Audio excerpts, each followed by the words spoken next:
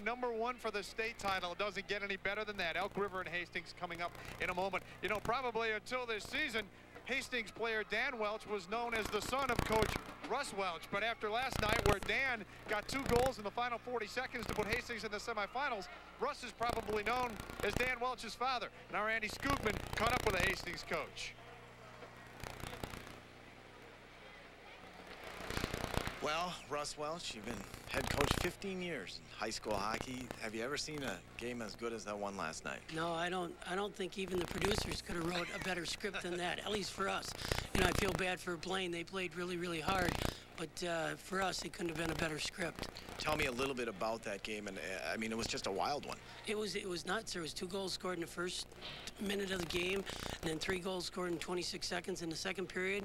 Then 40 seconds left in the game, two more goals scored. So it was pretty wide open and pretty exciting. It was uh, a good, good one for the ratings.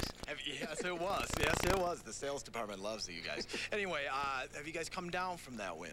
I don't know if we came down. I think uh, some of our guys were disappointed in the way we played, and uh, I would say Blaine is probably a little disappointed too. We're not really that wide open. Neither team, I don't think, is, and we're a little disappointed with our defensive efforts from probably both the defensemen and the forwards and the goaltending. So I think tonight we'll be. Uh, I think we're a little bit more determined to play a little bit closer to the vest. Elk River is a very good team. Yes, they are, and they don't give up many shots, so we can't give up many at our end. So uh, I look for this to be more of a, a defensive battle. Last night I thought it would be more of a skating battle with the quick forwards, but tonight I think it's going to be more of a defensive battle. Coach, good luck. Hey, thank you. All right, Jeff, let's go back to you. Andy, thank you very much. Should be a fantastic one. Hastings and Elk River for the right to play Roseau in tomorrow night's championship. Wally and Lou will set it up in a moment. We'll be back. You're watching.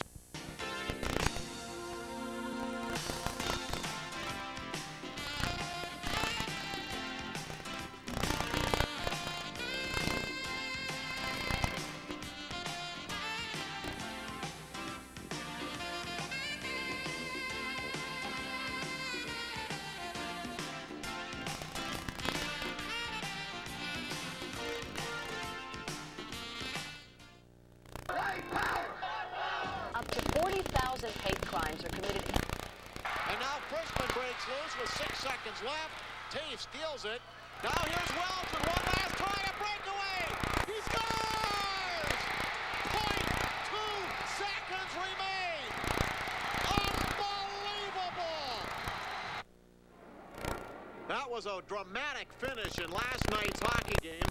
Two goals by Hastings in the final minute sent them from a 6-5 loss to a 7-6 victory. And what a thrilling game that was. Well, Wally, if you like goal scoring, you had it all last night. You got them in bunches, and it really was an exciting game for the fans. It's a game that a coach might pull his hair out, but for the fans, you can't ask for anything more exciting. Well, just a little bit earlier tonight, number one Roseau won their game. They will be advancing to the state tournament final.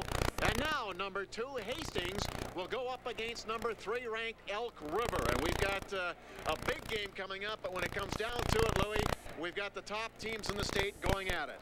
That we have, and it's nice to see when you're in the finals like that, you want to have that. Elk River really played well. They played real good against the Hill Murray, and Joey Bailey was a key factor in that game all night long. He got a lot of points, he got key goals, and he's one of the people that, when you look tonight, Hastings is saying, we've got to stop, you got to stop Joey Bailey. He was very dangerous last night. And when you look at Welch, you know who Elk River is going to key on. Taffe and Welch are unbelievable. Welch has got that great speed, and Taffe is as clever playmaker as there is in the state, and he is certainly going to give fits to Elk River tonight. Both of these teams can skate. Hang on, folks. Buckle those seat belts. Grab a cold one. This will be a fast and furious semifinal game. We've got the face-off coming up next. And meet the starters of this contest. Good evening, ladies and gentlemen, and welcome to Target Center and the semifinals of the 1999 Minnesota State High School Hockey Tournament. Let's begin our introductions by meeting the cheerleaders from the schools. First, the cheerleaders from Elk River. Alyssa Coro. Stephanie Jawatic. Lacey Johnson. Emily Cleats. Amanda Nathy. And Sarah Weiss. And now let's meet the Hastings cheerleaders. First, Kelly Fryermuth, Kristen Warner, Tiffany Sieben, Missy McGree, Nikki Koob, and Cassie Burke. And now, here are your starting lineups for our second semifinal game of the evening. In goal for Elk River, number one senior Mitch Glines. At defense, number five senior Nick Drugsma. At defense, number 11 senior Andy Crook. At center, number 19, senior Carson Izadi. At wing, number 10, senior Joey Bailey. And number 29, sophomore Joel Hanson. The Elks head coach is Tony Sarsland, assistant coach Paul Burning. And now let's meet the Raiders. In goal, number 29, junior Matt Klein. At defense, number 10, senior Derek Garcia. And number 24, senior Jake Majeski. At center, number 22, senior Jeff Taffe. His wings, number 23, senior Dan Welch. And number 25, senior Nick Housting. Raiders head coach is Russ Welch, and his assistant is Jerry Meyer. Here are your officials for this game. The referees are Jeff Shy and Jim Von Wald, and the linesman is Jerome Krieger. And now, ladies and gentlemen, we direct your attention to the center ice area for the presentation of the Sportsmanship Code. Sharp tonight because those two always get chances. Terrific, terrific hockey players. And Matt Klein in the nets for Hastings knows he's going to be facing a team that I really think plays as tough a schedule as any in the state. They are certainly ready to play here tonight. They've had tough games all year long. They're a very quick hockey team. And Hastings is not going to be able to get away with laying back at all and not body checking because last night we watched Hill Murray play a physical game. They were fast, they moved the puck well, and they really were an outstanding hockey club. And I think it's going to be a real battle tonight between these two teams. And Hastings is going to have to be in top of their game if they're going to beat Elk River. Elk River coming out of the Twin Cities Suburban uh, West Conference. They tied for the title with Blaine with identical 10 and 2 records. Meanwhile, Hastings came out of the St. Paul Suburban Conference. They had a perfect 16 and 0 mark. They have not lost a conference game in three years. And now they'll uh, move to center ice. The five starters for each team. Jerome Krieger makes sure both goalkeepers are ready. Everybody in this building is, and the last semifinal game of the day is underway. Hastings losing it at their blue line as the linesman Krieger falls, backing up into his position, and Trevor Stewart will play it into the Hastings end. Stewart flipping it high up, up along the glass, back in behind the goal, and this is number 10, Derek Garcia. Up the middle for Taffe. It's off of his stick. Carrying on is Majeski. Elk River breaking it up. They're going through a line change. That long pass is out of everybody's reach, and it'll be icing called against the Elks. Well, it was interesting to see Stewart right there lay a check on Garcia. And the really reason why it's interesting because they're coming out to hit again. And that's one of the good features of that hockey club. They can play a physical game and it still doesn't hurt them because they've got good speed to get back into play. Elk River is a quick hockey team. Hastings got good speed, but Hastings is going to have to use the body more than they did last night against Blaine. Yeah, it was a freewheeling first period there between Blaine and Hastings. You'd expect to see Elk River lay the, the body on them. Well, that's why you see goals scored in bunches like you did last night. It really was wide open all night. It was a fun game to watch. But as I said, it makes for a lot of good scoring opportunities when you play that wide open. Johansson gets the puck into the Hastings zone. If you've just joined us, Hastings wearing the yellow and blue uniforms. Elk River wearing the black with red and white trim. Here's Paul Martin, their big star defenseman, the just a junior, clearing the puck in, but it's brought out, at least attempted to, by the Hastings Raiders. And in behind his own goal now is uh, Miller. Getting it out to center ice. A little bit behind Vanderbosch on that pass. Regrouping in neutral ice is Bootsma. Lost the puck. Fired in now by number 17, Gordy Swanson. Hastings changing on the flies. Her third line comes out. Now Kiefer lifts it in. It comes on target. Hurrying in there was Pete Swanson, number 19. Gordy Swanson helps out, sending it down low, but this is Captain Crook. For Elk River, sending it around and shot all the way back down the ice and icing the call against the Elks. No score on this one. A little closer tempo than we saw in the last couple of games. We'll be back to Targets. Taffe's line to be playing against Stewart's line because he's got last change and he just brought that line out. On the face-off here, they put Welch Uh, into the face-off circle. He's a right-hand draw, tries to get it back to Taffe. Garcia moves up to tie up the wing. Welch puts it in front. Here's Taffe, number 22, sending it back to the point, winding and firing is Stewart. That's blocked. He'll have another try, feeds it over to Garcia, but he was backtracking, going into a defensive mode. The other Stewart for Elk River, number 18, clears it out to center. Taffe will chase it down into the corner, going up against Lemke. They can't clear it. Hastings dropping it back to the point. Joe Stewart getting it over to Derek Garcia. His shot glances off a skate. Trevor Stewart for Elk River will just pound it back out to neutral. Taffe missed the puck. Long, but taking a shot, then letting it go. Number 11, Andy Crook, he wasn't sure what to do there. Well, he had a breakaway and he didn't realize it. Then he finally realized it and then he started to go. By then, the hesitation allowed the speed of the Hastings backchecker to catch up to him. So he had to take a shot from farther out. He didn't see that Hastings had gone for a line change and left it wide open for him to skate in on the goaltender. Here's Bobby Miller. Look out, there's a shot right on goal as Miller couldn't clear the zone for Hastings. Now circling down low to get it is Adam Gerlach. Puck back out to center, and the Elks will relay it right back in before Majeski can get there. Here he is, Majeski. Pass hits a skate, stays inside the zone. Now Brian Nathy will send it goalward, and I think a good opportunity here for Matt Klein to freeze it. Well, it was a good opportunity because down in front of the net, you had Joe Bailey standing there, and Hanson deflected that shot from the point that Nathy took. With Bailey in front and Hanson deflecting the shot, the goaltender wisely just fell on it, made certain that he gets a face-off. Just previous to that, the puck was coming out, and to me, it seems Elk River's defensemen are a little hesitant, a little more tentative with that speed of Hastings because they're pulling out of the zone a little quicker than they did last night. They got to stand in that zone and make sure that they keep the puck in as, you know, as long as they have better than a 60% chance to do it.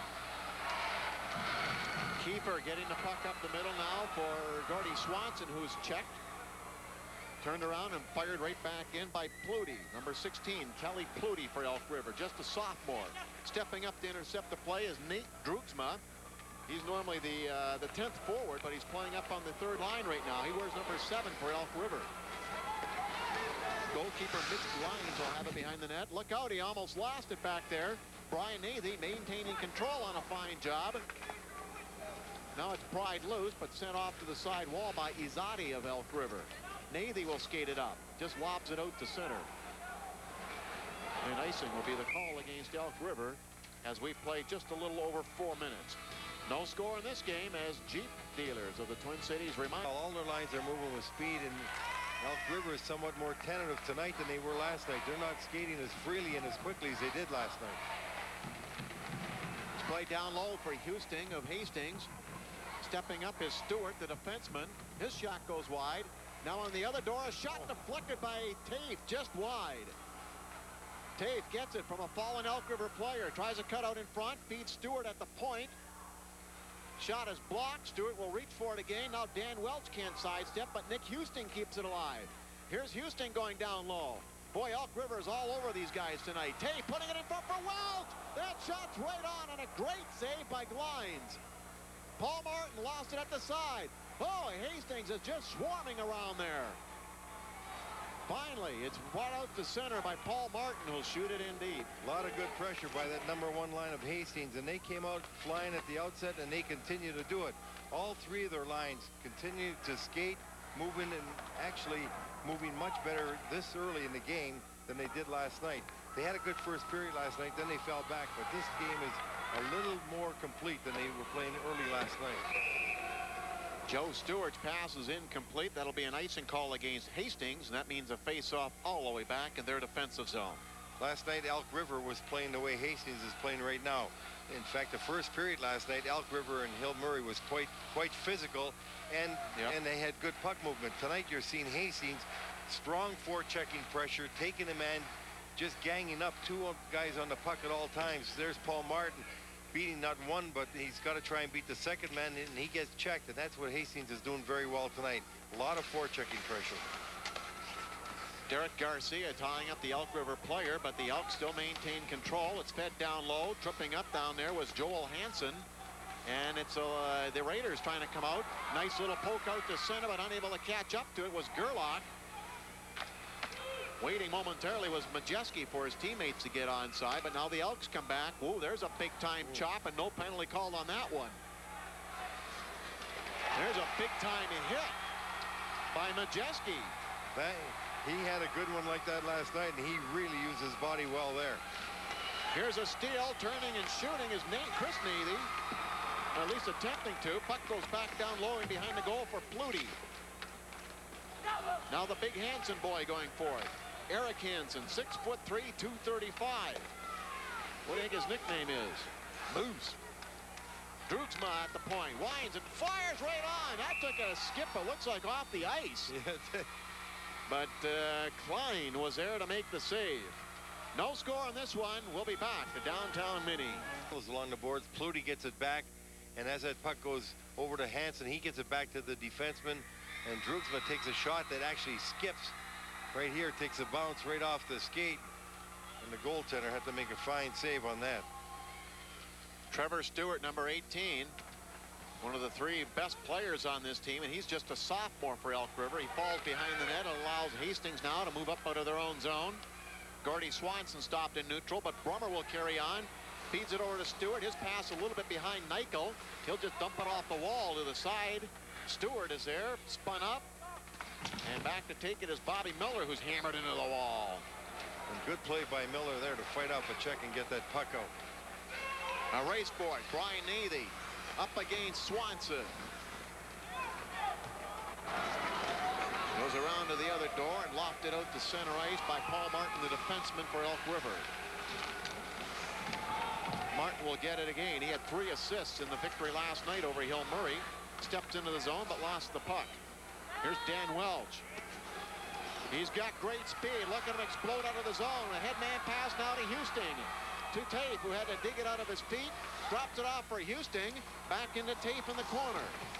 Taffe squeezed up along the play. Joel Hansen, number 29 there for Elk River, but we finally have a stoppage of play. And look over to the right. Brummer's all over Welch. Welch got taken down and away from the play. Brummer knows Welch is dangerous around the net. So when Welch went down, Brummer didn't move. He just stood over him and actually leaned on his back and was staying right there. He says, as long as you're here, I'm here, and you're not going anywhere.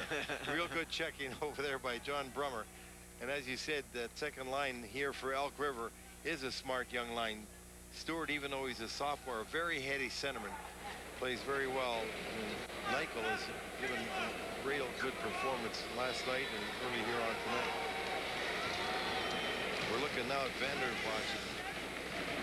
Line coming out, Gerlach and Vogelgesang, and boy, they played real well last night. Boy, did they ever. They're up against the second line for Elk River. Think at the top line, that's Bailey, Leonard, and Joel Hansen. I think that's what Welch is doing. He wants to have this line checking the top line. Look at Vanderbosch go. Boy, he's almost as fast as Welch, maybe faster they've got good speed in this line, and, and I think the coach is very confident in their ability to check the top line of Elk River. Joe Bailey is checked back behind the goal by Vogelgesang, number 11 for Hastings.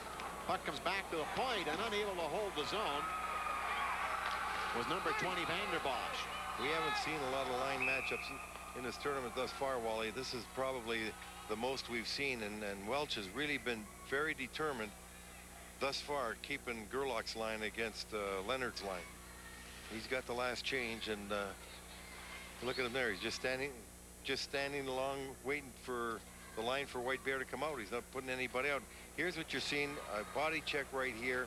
Something that we didn't see much of last night. That was Swanson laying the check on, and we didn't see much physical play by Hastings last night. Tonight, we've seen much more already. In fact, Bobby Miller threw three checks in one, one uh, shift down along the left boards here. Stewart pulls it back for Martin. His shot glances off the leg of Kiefer back out to center ice. Here's Bobby Miller again. Quick line changes by both teams. They're trying to match up on the fly. Bobby Miller will shoot it in. One player's offside, but he tags back up. The number one unit out there for Hastings going up against the number three unit for Elk River. But here come the Elks up the middle. Paul Martin shifting left across the line. Does a pirouette. Hands it off now to number nine, Brummer, getting into the side of the goal. Let's go! Boy, what a play by Brummer. He actually got it from the short side. It hits the goaltender and goes in. It was a strong forechecking effort by them. And what happened was Sarsland came out with his third line, and Coach Welch wanted his first line out. He doesn't want him against Leonard's line, but it paid off that time for Elk River because the strong forechecking moves down deep, watching the corner, after Martin right here. He's making good moves with the puck, and then he gets it over to Brummer.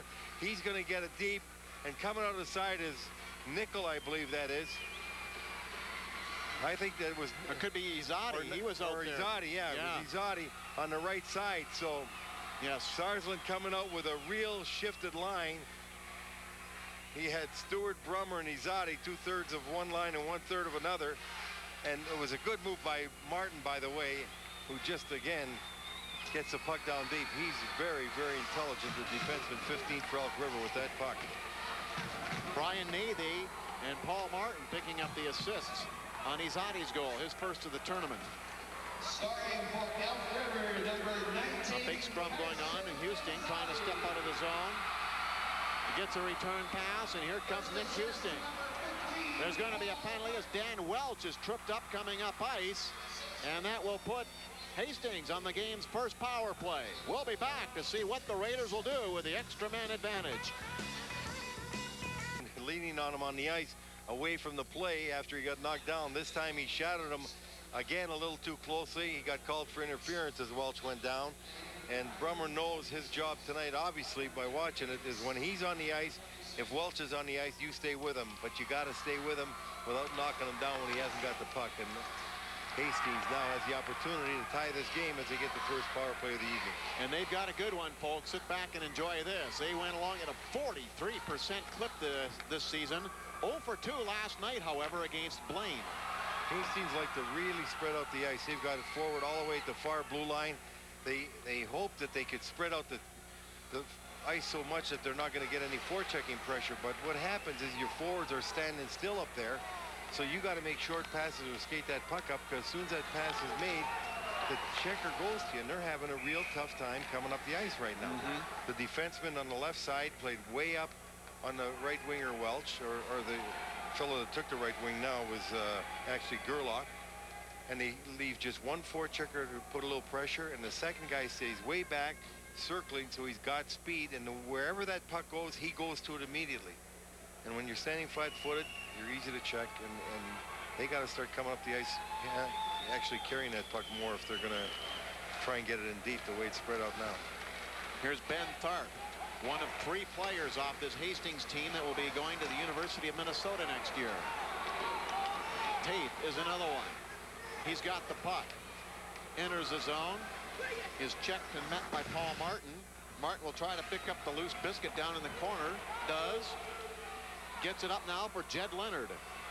Leonard had a big game last night. Gets that shot on goal shorthanded. He had a goal and an assist in last night's 5-1 win over Hill Murray. Taffe from outside the line. A high rising one is gloved and held on to my Mitch Glines. Well, 44 seconds left to go in this power play, and he Hastings having a real difficult time getting control of the puck in the offensive zone, taking shots from far out, trying to dump it in from a long way out. The way the defense is stacked up against them right now, they're going to have to carry it over that blue line, gain control, and move it around because they're having a tough time getting any shots on goal. And when you're a man advantage like this, you should be at least getting control of the zone and moving it around a little bit. 44 seconds left the power play. Welch with a screamer right on goal. Booted out nicely by Glines. 4.10 to go in the period. 1-0 Elk River. On a goal by Carson Izadi, only his fourth of the year. Here comes Welch flying down the far side. Won't go anywhere with it. It's winged around the wall by number 16 Flutie, but not out. A second effort does clear the zone, and Tharp will have it back at his own blue line for the Hastings Raiders. Pass just misses going onto the stick of number 10, Derek Garcia, the defenseman, who moves up front. Now Paul Martin breaking back for Elk River. Tried to slide into the slot, but two Hastings Raiders tie him up. He's had a phenomenal period of hockey. He had a great game last night. He's even better thus far tonight. He has really had a great 12 minutes of play.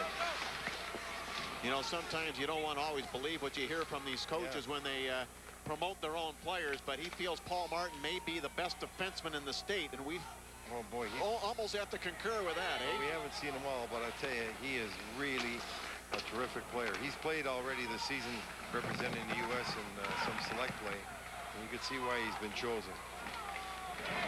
And he's only a junior. Picked up 30 points this year already has four here in the playoffs. That power play was just not very effective for Hastings.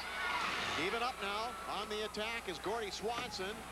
Ducks off a check, but lost the puck in the process as it's uh, retained by Crook. Oh, boy, the bodies are flying left and right right now. This is the style of game we saw last night with Hastings, but I mean with Elk River, but Hastings is picking it up as well. They have uh, been much more physical here tonight than they were last night. Moose Hansen coming back. He's checked and spun around. Moose gets it again. He's outside the zone. He'll just slide it in and heads off in a line change. He's got to be tired after that. He threw about three big hits out there. well, he outweighs him by about 50 pounds. No kidding. 2.10 to go in the period. Elk River swarming back defensively to cover, but they lose a puck. Here's a backhand attempt blocked. It comes back for Garcia. Fakes a shot. Gets it to Tharp. There it goes. That's a headshot blocked yeah. by Brummer. Now Tharp again with it. Sidesteps a check. Fires wide this time. Garcia trying to step up. Brummer breaks it out to center. Racing after it is Travis Stewart, but he falls. Stewart now hands it off to Nichol. Raiders clear, but not out. There's Brian Nathy's shot right on. Brummer going for it, trying to feed Nichol, number 17. Stewart, 18 in there now for Elk River. And finally, it's scooped up and brought back out to neutral ice. Here comes Adam Gerlach shooting it in and heading out for a line change. Buck 15 to go in the period. Long breakout attempt is beyond everybody's reach, and that'll be icing called against Elk River. Timeout. The Jeep scoreboard will show you a 1-0 lead. The only goal of the game coming from Carson Izadi. Strong game at the outset, but somewhat of a lucky goal by Elk River has really turned that hockey club on because from that point on they are playing much better than they did and right now they had some much more control of the game than they had earlier and also played much more physical since that time. Joe Bailey number 10 kicks the puck loose his line mate Jed Leonard picking it up, then losing it at neutral. Hastings has it now. Here come the Raiders just dumping it in as we enter the final minute of the period. Paul Martin's back for Elk River. Lost the puck to Taffe, and then Bailey's there to recover for him. Up to Brummer. He'll toss it in. And this is Majeski back there, number 24 for Hastings. Big Jake the Snake getting it across ice. Reaching the line is Taffe. Trying to go down the wall with it, but there was four black-clad Elks there to make sure it went nowhere. Here's Bobby Miller looking. Now here's a steal coming across the line. Flutie trying to get it across. He did, and that shot is blocked by Klein. Now Majeski bouncing around in the corner there with Pluty. His sticks get up a little high. When was breaking towards the net for, for a rebound, Majeski just knocked him down. Majeski's thrown more checks tonight than I think the defensive Hastings threw all day yesterday. They are playing much more physical. Majes Majeski and Garcia have really laid out a couple guys along the boards, and they, they have to be physical against Elk River and slow them down somewhat. Well, as well known as Hastings is, Lou, for their speed, that they can certainly play the uh, man-on-man -man game as well. They are playing it tonight, and they have to because Elk River came through a very physical game last night with Hill Murray. Hill Murray is a big, strong team, and Elk River matched them check for check. Tit for tat right there between Majeski and well, you don't want to match too many tit for tats with uh, Eric Hansen out there at six foot three, 235. He's got some size to him. They're dishing out checks like it's the first of the month.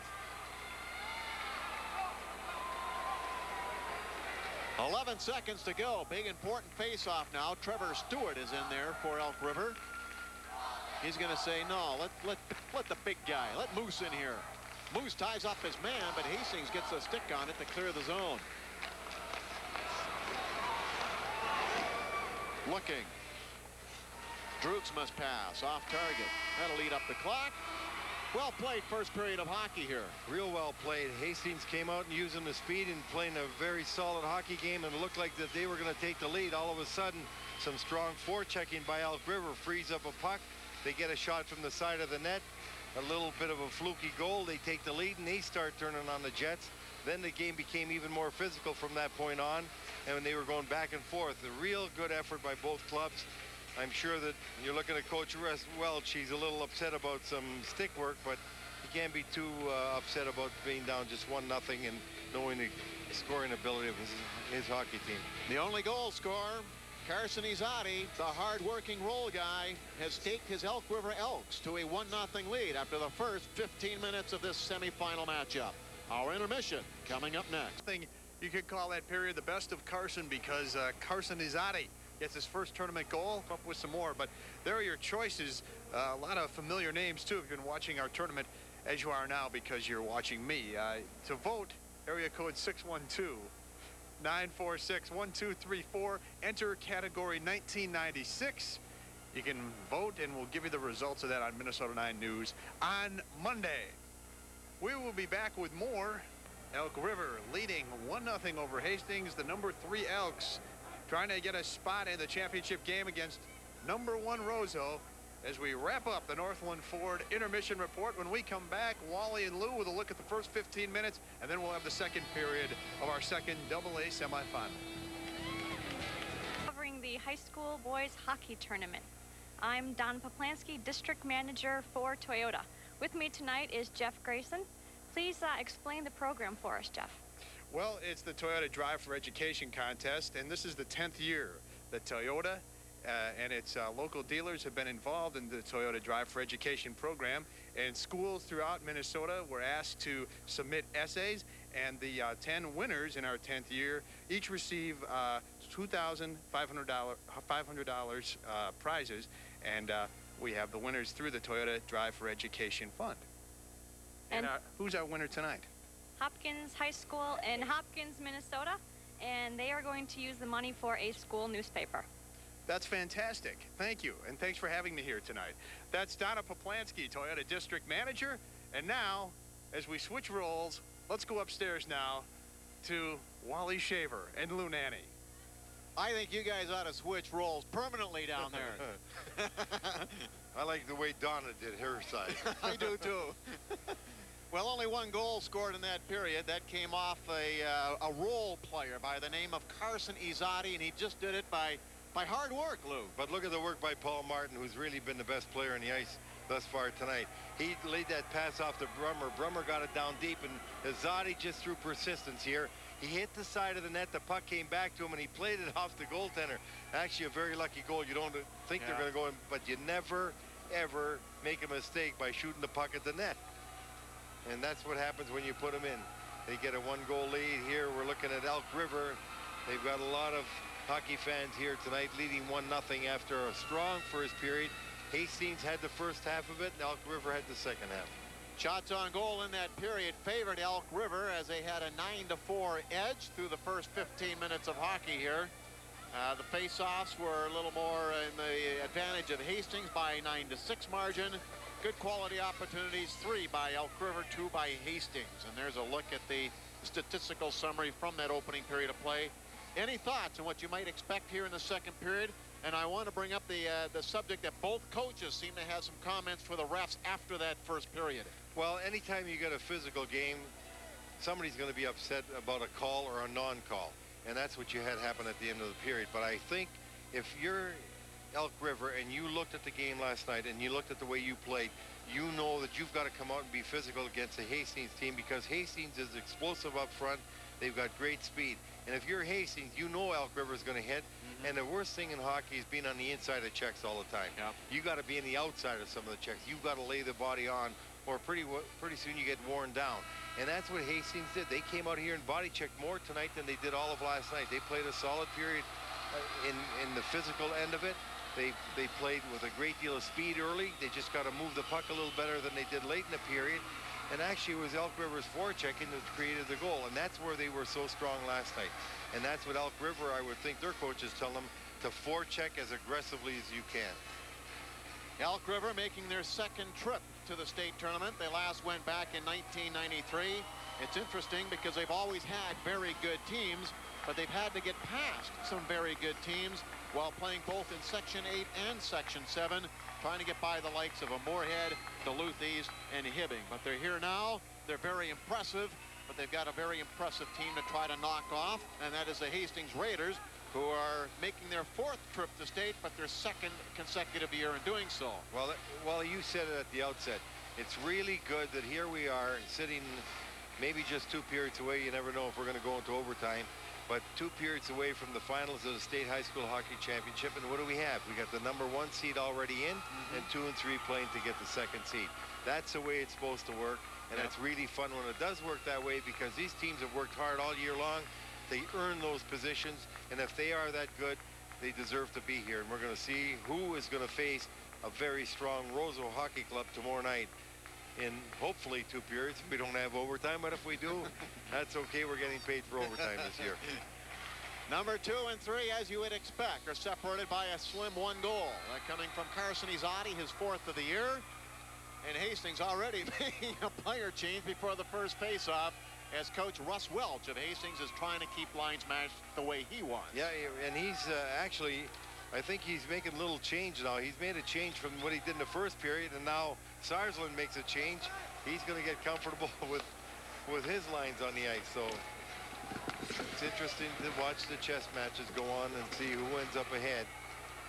Joe Bailey entering the zone, but he's upended from center ice. It's driven right back in by the Elks who are wearing the black uniforms tonight.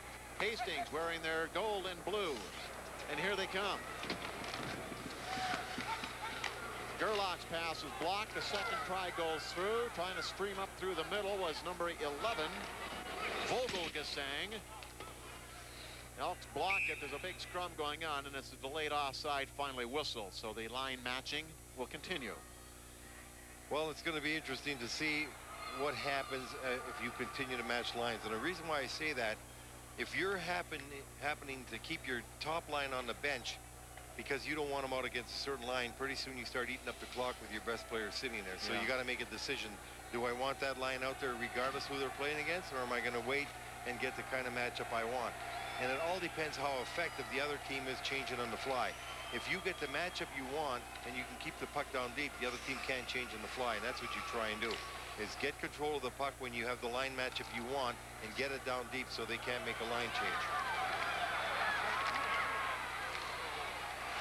Dan Welch, number 23, is being watched like a shadow by number 9 Brummer. That's exactly the matchup that Tony Sarsland wants. And I'm sure that's the reason why Russ Welch, the Hastings coach, was complaining at the end of the first period because his star guy had somebody in his back pocket. And that's a, that's the best way to play. When you've got somebody as dangerous as Danny Welch on the ice, you've got to pay attention to that kind mm -hmm. of mm-hmm. player. Well, we saw what happened last night. The fact is, even when you pay attention to him, he's going to still get chances because he's a highly skilled hockey player. Jeff Taffe coming up for Hastings, but his drop pass is right onto the stick of number 20, Chris Nathy. And uh, here is number five, Nick Droogsma, getting it up ice. Brummer will just dump it in. Long bomb effort by Bobby Miller is picked off. Coming back down the side wall is Droogsma trying to cut in. He's slowed down in the process. This allows Gordy Swanson to get up for Hastings. Here's Swanson, number 17, up out of his own end. Just shoots it in off the wall. He'll give chase. Droogsma lines him up. Centering pass hits the back of the goal cage, and the Elks will take control. Up through the middle now. Number 16 is Pluty. Hastings back for it. However, number 20 is there. That's Chris Nathy. Nathy seeing a little more ice time tonight than he did last night. Hanson was looking for that pass, but we have a delayed offside called. It's a chess match right now, two and a half minutes into our second period. Menards reminds you, it is still a 1-0 Elk River lead.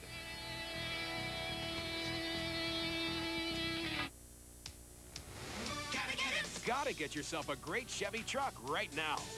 Gotta get it. Get a Chevy S10 right now with 0.9 financing for up to 48 months or 1000 cash back. Gotta get it. And come see the all-new Chevy Silverado, Motor Trend's Truck of the Year.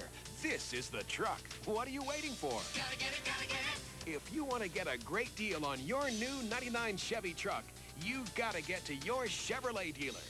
Gotta get it. Gotta get it. Gotta get it. Gotta get it. Now. One thing Elk River's got to worry about is this line out there tonight, Gerlach, Vanderbosch, and Vogelgesang. Vogelgesang and uh, his line mates last night had a strong night, and they are not worried about playing the top line of Elk River at all. They got good speed, they work hard, and they use their body. This could be an interesting matchup. Here's Gerlach entering the zone for Hastings. Going around the net, trying to ward off a check, lost the puck. Hanson lost it, however. Here's Gerlach shooting, that's just wide. Joel Hanson getting it once again. Headman's the pass now onto the stick of Jed Leonard. His effort to Joe Bailey is just too far. Klein comes out. Gerlach's pass just a little bit out of the reach of Vanderbosch. And going back for it in the Elk River zone is Paul Martin. Does that guy ever leave the ice? No, and if he played for me, he wouldn't either. Fanned on the first one, but the second shot by Stewart is on goal. Now here comes Derek Garcia. He picked up three assists in last night's hockey game. His pass is blocked back deep into the Hastings zone. This is Joe Stewart turning around. Now Taffe coming out of his own end. Chris crosses in the middle with Welch. It's onside, but that shot by Taffe will go way up into the upper reaches of Target Center. I want to tell you, John Brummer came back and picked up Welch on the far side, and he rolled him right across the blue line. That was a great back-checking job. And when you were talking about Paul Martin not leaving the ice, it was really funny. He was playing with Nick Droogsma first, and by the way, Droogsma played a great game last night. He was playing very solid tonight. He went off the ice, and Martin just took the other position. He just went across and played the other defensive position. But I'm telling you right now, Dan Welch goes to the locker room in between periods. You wouldn't be surprised if he found Brummer sitting in the same locker room with him. really. Here's Welch. Guess who's watching him? Welch with a steal. Brummer watching him. Welch with it. Brummer takes him out. Brian Nathy now ties up his man and back behind the goal is grabbed by Stewart. Lots of action going back there. Taffe will get the puck. Looking for an open point. Finds one with Majeski. Teeing it up. Lets it go, and it's wide. Bobby Miller slaps at it. Brummer watching Welch. He tries the center. No dice there. What a job Brummer's doing. But the only thing when you're watching a man that closely, because Brummer's following Welch all over the ice, that's leaving the right point open. And if Hastings, they had one chance there, they got it back, they got a shot away. If they get control of the puck, the person they have to look for is going to be the right defenseman because nobody's watching him. Brummer is following Welch all over the ice, even down behind the net. That's a little unusual when you're watching a man because sometimes you let the defenseman pick him up. Now watch where he goes, number nine. He's going to follow him down deep, and he'll follow him all the way. He keeps bothering him. So if you got three guys here and two of them, somebody's open. You know who's open? The right point man. Here we go. Coming out of the zone is Nate Droogsma. Off that fourth line, shooting it in is Droogs. behind his goal. Picking it up now is Mike Vanderbosch. Here comes uh, Hastings sliding it in. Kiefer doing the job. Two Swanson boys going in for it, but he deludes both of them, and Paul Martin has it. Kiefer checks him. Paul Martin will try the other door this time. Finds it open and leads Nate Drutzma to center ice. He lets it go a little further, then takes a return pass.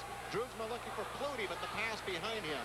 Drop back to the point. Winding up now is his big brother, Nick Drutzma, who lost the puck. Look out, here comes Vanderbosch. He's got some wheels, backhands it in front, but Drutzma's there to intercept. Not cleared out. Tossed back down low by Gerlach. Drutzma being pestered. Trying to sneak out in front is uh, saying, but he was all tied up, and back come the Elks. Lifted into the zone by Flutie. And Martin's finally going off the ice. This is the first time he's left the ice in about five minutes. Here comes Vogelgesang again, number 11. The little guy sprinting down the end boards, but he's tied up along the wall. Jed Leonard feeding it around to the other side for Joel Hanson. Lugging it out to neutral, pokes it in. Leonard picks it up, has Bailey breaking, lost the puck. Hanson will try to center it and does, but it's off a stick and high in the air. Hastings darting back through the middle, trying to anyways. Here's Jed Leonard picking it back up again. The smooth skater, nicknamed Spanky, coming across the line. Checked away from him. Brian Ealy coming back. Has a good shot. Try to dump it in, but bringing it right back now is yeah. Houston. Uh, yes, that is. There's right in front of the referee. You don't have to wait. You know what you're going to get. Uh -huh. Stewart's going to be going as he pulls Houston down. Houston doesn't even have the puck, and so we'll get a power play for Hastings. And we'll be back to see what the Raiders can do this time, still scoreless on the power play in the state tournament.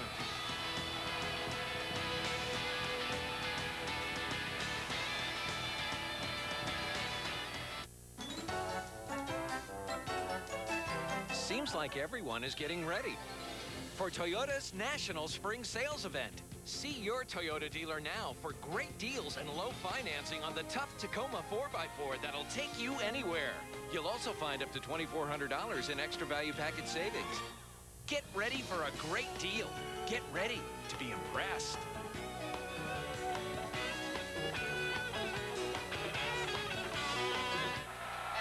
Even though it's only two minutes for hooking for Trevor Stewart, this is really a double penalty, and I say that because Stewart kills penalties very well for Elk River, and he can't do it while he's sitting in the box. He's only a sophomore, a very bright young hockey player, and he's been a factor here tonight for Elk River. A strong checker, doing a great job, but he gets called for holding and or hooking, and he's going to be sitting.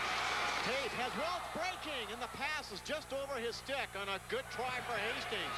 Now short-handed, Jed Stewart coming back at that Leonard. His shot is over top the goal. Hastings trying to roll out. They've got a minute and a half left on power play. Here's Dan Welch. He's getting some open ice. Lost the puck, though, and then had his wheels taken out from under him. Elk River looking for an opening up the middle. Wrong place to put it. Taffe at the point. Fires. It's deflected. Where is it? I think it went up in the crowd. Actually. Row 12. Yeah. actually, it was some very smart play there by Danny Welch. They've had a great deal of difficulty getting control of the zone when they're in the power play. Finally, he goes back, just picks the puck up and skates it over the blue line. Got control. They start to move it around. They put some pressure on. They got some shots. That's the way they have to go to get control of the zone. Come up with speed, get control of the puck, and skate it into the zone because the long passes really worked against them on that first power play.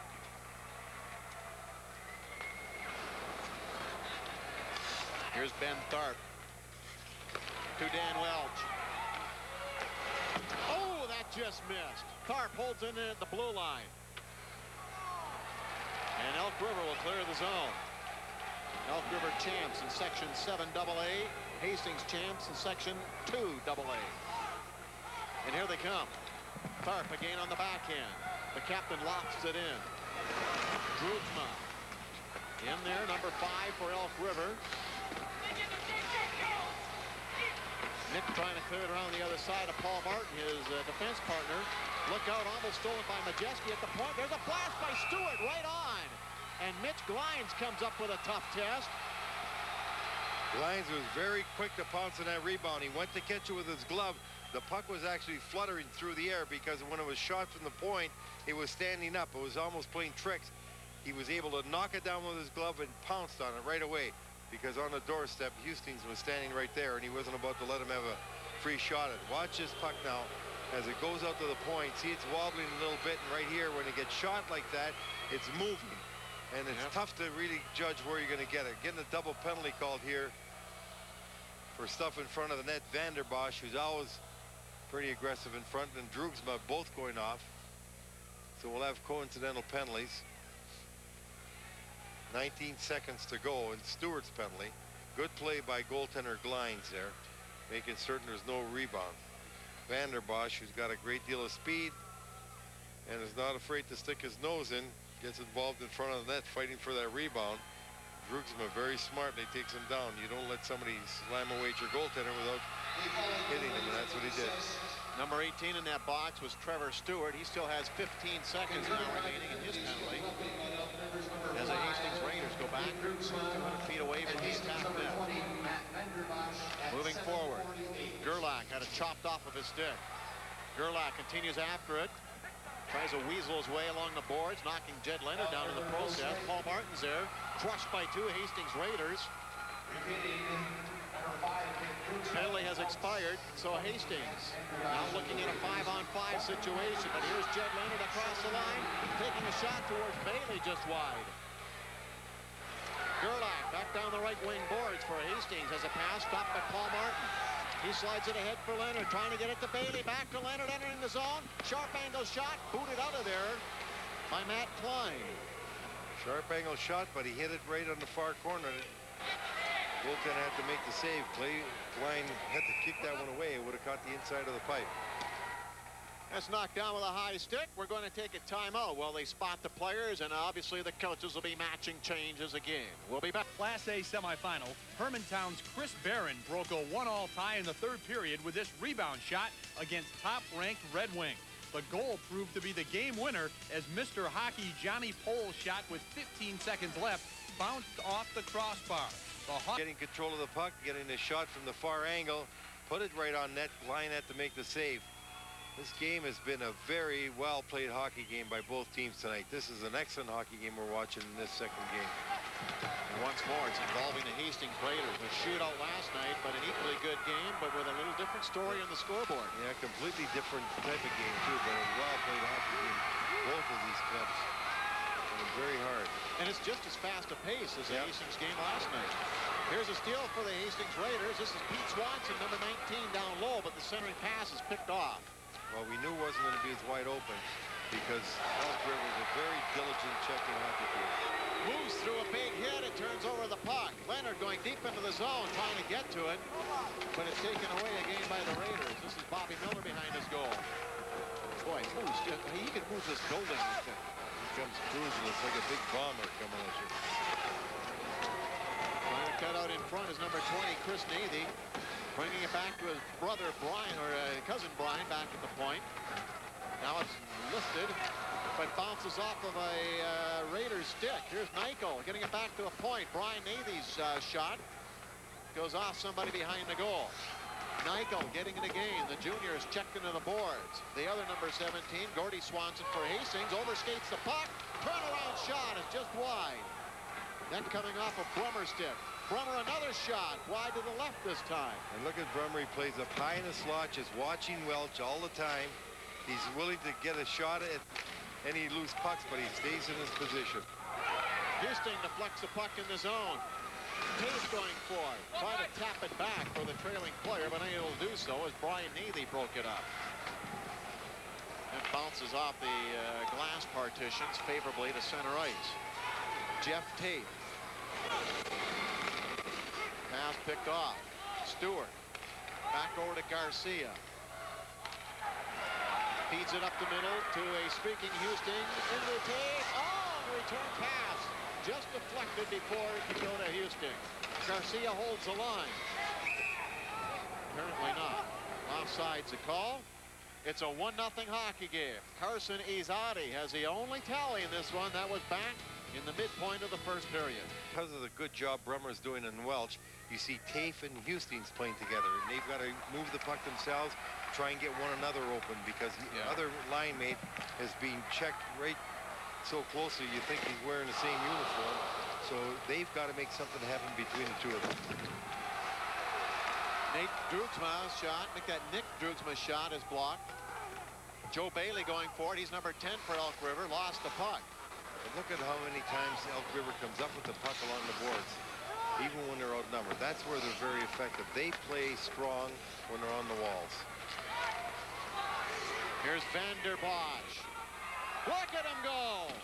Into the zone. He'll just ring it around. Nick Drugsman will pick it up. There's a trip. Joel Hanson for Elk River will clear it in. Coming right back the other direction now is Majeski. Big Jake takes a shot wide. Going after it is uh, number 25, Houston. The puck bouncing around. Dan Welch tries a shot blocked. Now Miller lets it go. That's just wide. Jeff Taffe getting in it. A quick line change for Hastings. Looks like it's working. Houston trying to get it back to the point for Majeski. Goes back in behind the goal. There is Stewart for it. Here come the Elks. They just drive it in. Majeski to Taffe. At the line, fakes a shot. Taffe moving in, lets it go. And that is just wide. And Karam's off the wall. 200 feet back the other direction. And that's what you got to see for Hastings. A lot more Taffe carrying the puck alone, making some moves. He is extremely dangerous when he's handling the puck. He just missed the far side on that shot, and he can open things up just by his puck carrying ability. Hastings giving away to Brummer. Now Chris Nathy tries a shot. That's blocked. Or make that Nate Drutzma. Tell you, Sarsland is getting everybody into the game here for Elk River. Yeah. There is a whistle down there. We're going to take a short timeout. We'll be back to downtown Minneapolis for more semifinal action. And he's got to be extremely pleased with the kind of effort his team is putting out here tonight.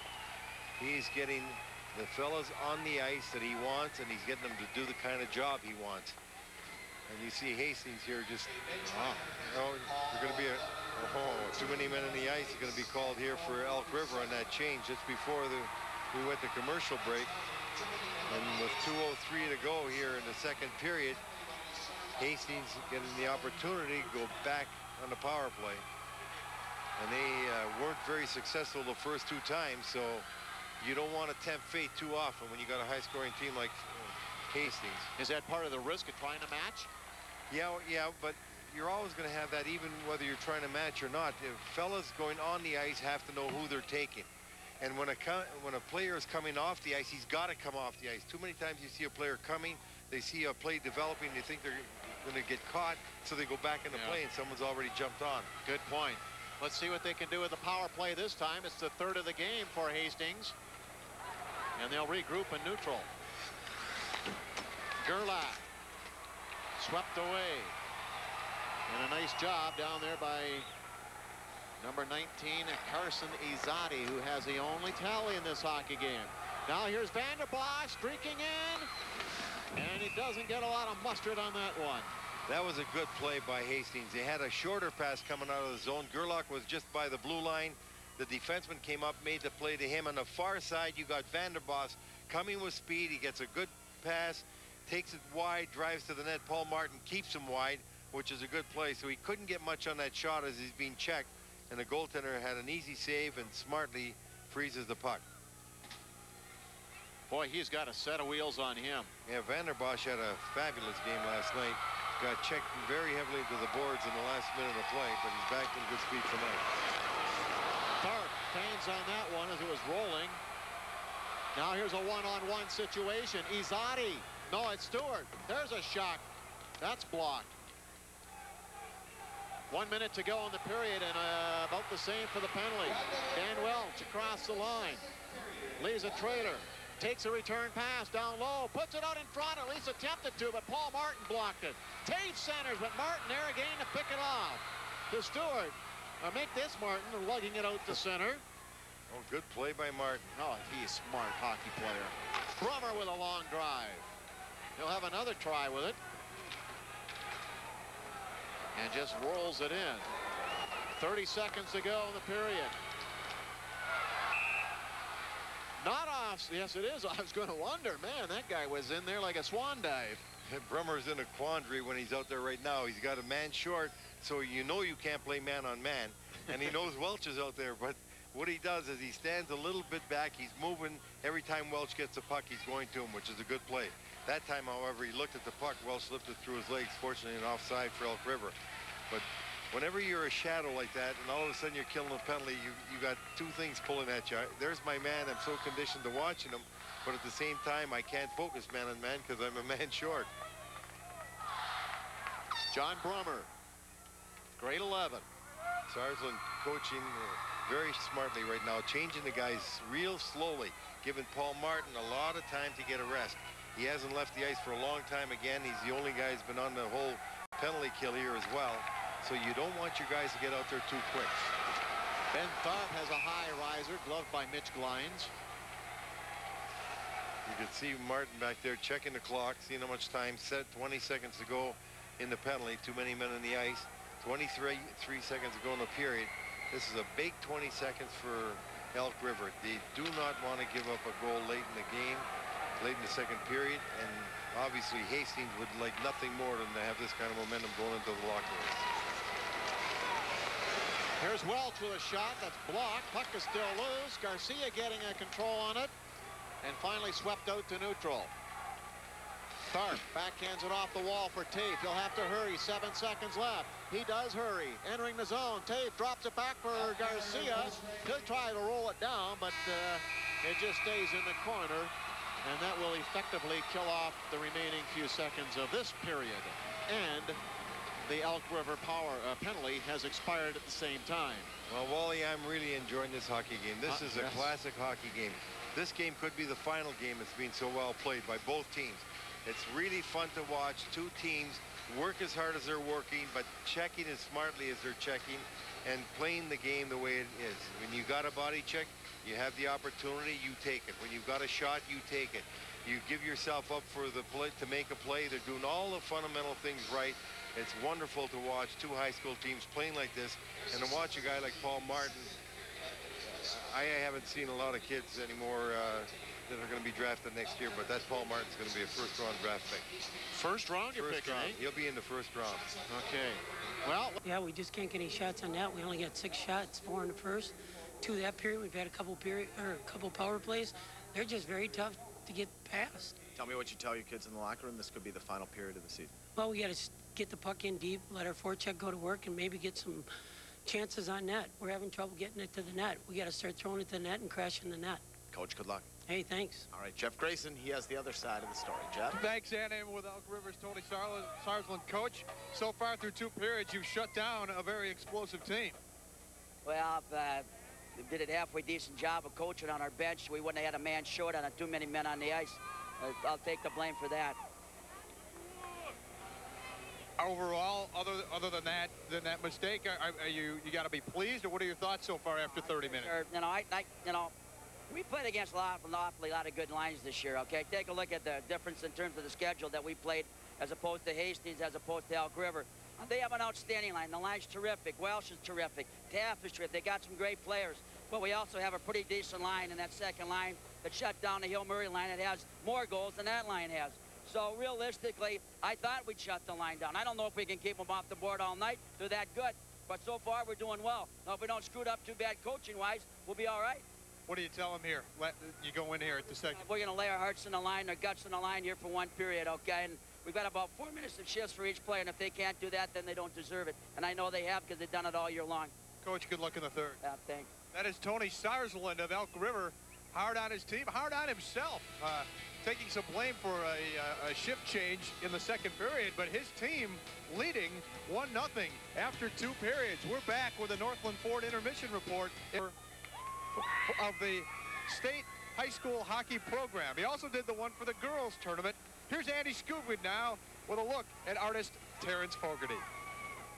Jeff, you not only can see great hockey down here at Target Center, you can also see some excellent artwork as well. St. Paul artist Terrence Fogarty responsible for all of it. And that you became a hockey fan if you went to Johnson and on the east side in general. You're responsible for the program you were last year as well. Tell us a little bit about what's on the program this year. Well, this is a celebration of high school hockey in Minnesota. Uh, the Civic Center in St. Paul, its demise. Uh, I wanted to record the Civic Center for posterity for the rest of the years here so people knew what it was like there with the cleared boards and and there's about 25 to 30 teams uh, represented who had uh, tremendous tournament appearances over the years and uh, that's basically the genesis for it. Well, I think when people come up and look at your artwork, they, they say, is that a photo or is that uh, painted? Uh, right. what, this is amazing stuff. Yeah, the, the terminology is called photorealism, and uh, I work from photographs. I'll go to an event, shoot a few rolls of film, come back to the studio, and then work from those photographs and it's actually a compliment to tell me it looks like a photograph. So, and where where you, you can people can come up and they can buy this stuff as well too. Right, right. Uh, we have a booth here at the state tournament, and uh, people are coming up and buying the limited edition print. Uh, of the uh, painting that I've done, which is also on the tournament cover this year. Terrence, thanks for talking to us. Your work is amazing. Thank you. All right, Jeff, you can come down to the lower concourse here at Target Center. You can purchase some of this stuff. The work is amazing. Let's go back to you. The moment, Elk River leading Hastings one to nothing. Minutes of our second Class AA semifinal here on semifinal Friday at the Target Center. Jeff Grayson back here at downtown Minneapolis as we wrap up the Northland Ford intermission report. The tournament have had this year. This may be the best game of the state tournament to this point. Only one goal. That came midway through the first period off the stick of Carson Izadi for Elk River. But what a chess match we're seeing being played defensively by both of these teams. It's a really a well-played game, Wally, and we certainly are watching a chess match. And Sarsland wants to keep Brummer on Welch, and that's what we're going to see, I think, for the rest of the game. Because right now, Welch has decided to let it play, and we'll see if we can score that way.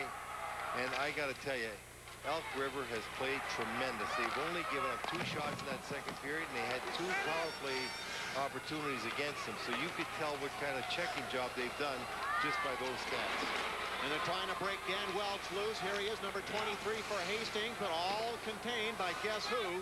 Number nine, Brummer. John Brummer's had a superlative game as a junior shadow here watching Dan Welch. Back behind his goal, number three for Elk River, Brian Nathy slides it up the boards. He comes back in the point. Here's Majeski, a wrist shot. That goes wide. Paul Martin back there after it, uses his body to ward off Taffe, gets the puck, and headmans it up the side wall. Reaching the center ice is Brummer, but it's Welch this time, stealing it from him. Houston takes Welch's pass, trying to split the D, finds Taffe on the far side, but he's ridden out of the play and slammed into the boards by Paul Martin. What a game Paul Martin has had. He's played a classic. He's done everything well. Joel Hanson drops it back. Nobody home. Here's Houston with some open ice. Can't feed it through. Carrying on, however, Vogelgesang with a shot that goes off the leg of Nick Droogsma. And that'll bounce all the way back on goal where Matt Klein will have to make a play on it. Klein, 13 and 2 on the year, 14 and 2 with the win yesterday. 1.5 goals against average. Ninth best in the state. Raiders give it away. Trying to cut in is Jed Leonard. He's all tied up by Bobby Miller. And Bobby Miller certainly used his body well tonight. Oh, almost a bad steal there, but it hopped over the stick of Droogsma. Big hit as Vanderbosch is knocked down, two on one. There's a shot to score! Well, the line that played so well last night comes through tonight. Gerlach got an outstanding shot away over his check. It was definitely screened. Glines could not see that puck. There's no doubt about it. As Crook was trying to block it, the shot went over his shoulder. You're wearing a black uniform on top of that. That's a difficult shot to pick up. And boy, did it, that go right under the crossbar. Outstanding play by Gerlach. This line has done so much last night and tonight. A great hit, but Vanderbosch took the hit to make the play. That's the creed of the game. And look at that shot. The goaltender had no idea where it was. And that went up and over and in the net after a fine setup by that man that got rattled, Vanderbosch. It's a mouthful on the assist, but the first one going to Matt Vanderbosch, the second one to number 11, Dustin Vogelgesang. Gerlach's goal makes it a one-all hockey game. That's his ninth tally of the year. And what a break. And it all initiated when uh, just missed Yep. that pass back in the zone and left the defense with only one man back. Now Nathy will feed it around a little bit too far for Paul Martin. The puck will carry to center. It's lofted by Hastings, but up and out of play. We're tied at one now. It's a barn burner down to the wire, and what a classic this one has been and will be to the finish. We'll be back to Target Center for more. Lou Nanne back with here at Target Center as we join play in progress. There's a long shot from the point. That just misses coming off the stick of number three, Brian Nathy. In behind the goal, puck is pried loose by Nyko getting it to the point. Nathy another try is deflected wide. 17 is Nyko. Trying to roll it down in the corner for Stewart. The other Stewart for Hastings gets the puck, slides it around but not out. Stewart back to the point. Paul Martin with a shot. It rises off a deflection and out of play. Well, we got 12 minutes almost left in this hockey game, but I don't think that's all that's going to be left. This has really got the makings of an overtime game, Wally. Both of these clubs playing hard, not giving up much. When you look at the type of goals that got scored, I, really, they're not the classic type of goal. You're not going to see good passing, wide open men. These fellas are checking. They're staying with their men. They're paying the price when they have to make a play. They are working as hard as you can work. And it shows on the scoreboard because you're not getting a lot of goals. You're not getting a lot of chances. Dan Welch trying to feed it off the boards. Lost it, gets it back again. Three on two. Hastings. Welch sidesteps a trip, uh, check rather. But Paul Martin broke up the play. Back the other way. Comes uh, Joel Hanson putting it out in front. There's a bouncing puck. It goes off into the wall. Dan Welch taking Brummer with him there. Martin from the point fires. That's blocked. Two players down. Here's Drukman letting a shot go. He gets the puck once more, but then is checked by Taffe.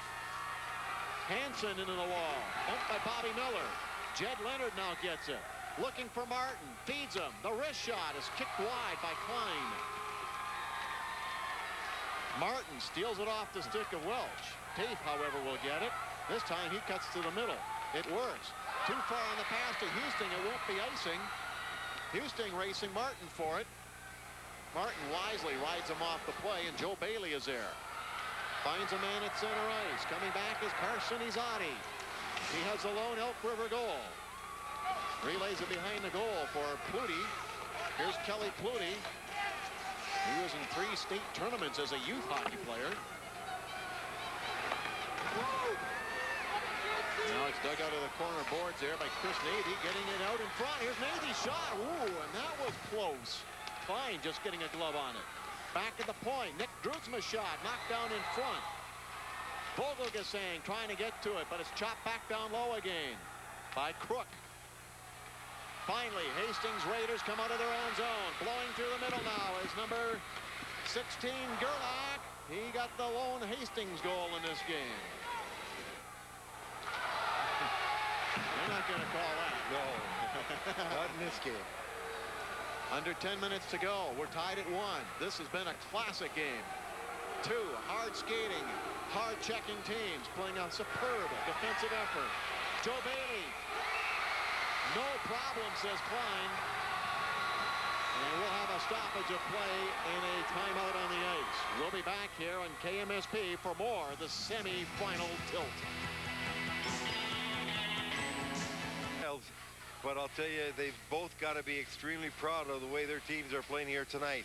This is a tremendous hockey game. I hope tomorrow night's game, who's ever playing in the finals, is as well played as this. This last night we saw an exciting hockey game because it was so wide open. This is completely different. But as far as being well played, this is the best played game of this tournament that I've seen.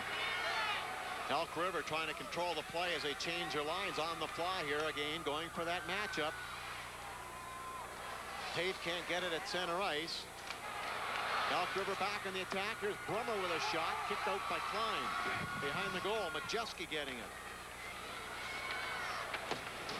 Now Nichol, number 17 for Elk Rivers. Takes a sharp angle shot, block. Brummer the rebound, rises wide. Here's Stewart going after it now. Feeding the point. Brian Nathy fakes a shot. Gets over to Martin. His blast is blocked by Hastings, but he can't clear it, and a second try does. Elk Rivers using the points extremely well. The only problem with the points, they're firing into forecheckers coming to block shots. I don't know how long it's going to take before they try and fake a shot and get the puck on the net. That's offside as Houston stepped in just a tad prematurely. Martin has done so many things well tonight. He has been the best player in the ice, as we said. But the one thing that he hasn't done well, he's fired into opposing shin pads now three times. One time he finally just took a wrist shot and got it on the net. When he sees people coming to block the shots all the time, he's going to have to learn to fake a shot sometime and, and make a play. You can see Hastings has gained ground in the shots on goal department. That's led to their goal. Tied at one. Izadi scored in the first for Elk River. Gerlach here in the third for Hastings.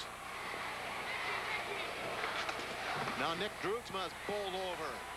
Vogelgesang squashed up along the wall by Moose Hansen. Goes on to the other door. Izadi leads it for Pluty. Finds Droogsma streaking up the left. Drugs, wrist shot. Klein looks pretty confident. Yes, he does. He's standing right there and taking those shots and gloving them very wisely because he had two wingers, Flutie on one side and Hansen on the other coming to the net. Droogsma made the right play. He's a defenseman. You don't want to go deep, but he should stop here and get a low shot. He got that puck way too high. You got people driving to the net like Hansen in front on your right and Flutie on the left. You got to get the shot down low so the goalie can't grab it. But the defenseman, Droogsma, made the smart play. When you're going up ice and you got a tie game, you don't want to be leading the rush when you're tied because if you turn that puck over, you're leaving yourself vulnerable, back on the point. Well, and that happened earlier when uh, Droogsma pinched in and then yep. uh, Hastings broke out and scored. That's right, and you don't forget those. Say, I'm not And I'm sure Tony Sars was reminding him not yeah. to forget it. He's an intense coach. He really is. But he's done an excellent job with this hockey team. And there is Tony Sarsland in his 14th year at Elk River. 29 years he's been coaching. Spent two years up at Hallock, six years with Columbia Heights, and seven years in Beloit, Wisconsin. I think he's going to take a few Anacin after this game, looking at it. He's really working that gum. Yeah. Paul Martin, squeeze out of the play. Dan Welch throws it up ice now for Tate down the left into the zone. Sidesteps a check, but he's upended by Brian Nathy. There'll be no call here. Dan Welch trying to roll it to the point, does. Garcia will just bang it back down low, but it's intercepted, and back comes Gordy Swanson. A headman pass is blocked. Brummer will circle back to neutral. Hastings trying to come up. Martin foils out. Welch is fine. He's coming out of the zone. He's been going too deep. He's going too deep right now. When you have a shadow on you, you might as well pull him out of the zone so your defense and forwards have less of uh, forecheck to contend with coming out of the zone. There's less bodies in there. Somebody's going to watch me. Bring him all the way out. Pull him the way out. Paul Martin skates in and shoots. It's blocked by the defense. A rebound is fired high and wide by number 18, Stewart. The other Stewart, Joe Stewart, number 27 for uh, Hastings is down there working in the corner. Digging it loose now, Joel Hanson, 29. Getting it back over to number 21, Jed Leonard. Hanson throws a check, knocking Garcia down. Martin holds a line for Elk River. Gerlach trying to bring it loose, does. Oh. Gerlach is grabbed. Leonard escapes that one. You don't want to be getting last suit penalties here. Uh -uh. 6-12. You got to watch. Take the man, but take him legitimately. Big Jed leaving it there. Now Garcia, nice play off the boards to himself. But then he just throws it away. It'll be icing, and that'll bring a face-off all the way back in the Hastings zone. 1-1 in a classic matchup between two of the top teams in the state. We've got more coming the Hastings bench right now. They're all standing up. They're really, really excited about this hockey game. Quite a contrast because they're all sitting on the Elk River bench. You can see them right there in the top of your screen. Winding and firing heads up, folks. That one's got uh, stitches written all over it, but thankfully hits the glass and slows down going out of the play. Izadi got a lot of wood on that. He actually followed through a little too high. That caught the top of the glass going out of the building. But Sarsland not taking too long to change his lines. One thing that you have to be cognizant of when you get to 546 like we are this late in the game, you've already played a game the night before and you're playing physical games like Elk River has, your guys are going to get tired a little quicker. You have to change them fast. Change them often, but make smart changes. Bad changes kill you and lose hockey games. Well, it looks like Hastings is pretty much using two lines. I see the third line is out there right now. Roseau's got to be liking this, seeing these two teams beat up each other and going with, uh, for the most part, two lines, sometimes a third line, where they had the option to go with four lines in that earlier game tonight. Roseau's already in the state championship game. They won 6-2 over Holy Angels. Here's Gordy Swanson with a shot wide for Hastings. He's number 17, trying to roll it in front, but Paul Martin, a nice little tip pass ahead, and coming back is Jed Stewart. Stewart getting it across the line. Brummer is knocked down. Bobby Miller's check. Some big crunching going on. Brummer slaps the stick away from Nick Husting. Puck comes back into the Hastings end.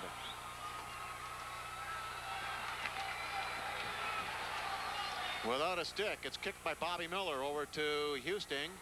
Jeff T circles back. It's fed to the point by Hastings. Now Welch, he's got a breakaway. Oh, he hit the side of the goal. He went low where last night he went high to win the game. Welch gets it again, but his pass is right on the Paul Martin stick. What explosive speed he's got. On the point, Tharp takes a shot, then lets it go. Block, gets it in now to Husting. And finally it's stolen, and here's Leonard trugging up the middle. Leonard passing it off.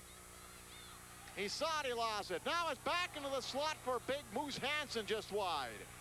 Izadi, number 19, pinned up along the boards. Tharp will backhand it ahead. And here come the Raiders. Houston's pass into a skate as his line mates are changing. Elk River right back with Moose. Hansen kicks at it, and it comes back out to neutral. Izadi turning the whack at it.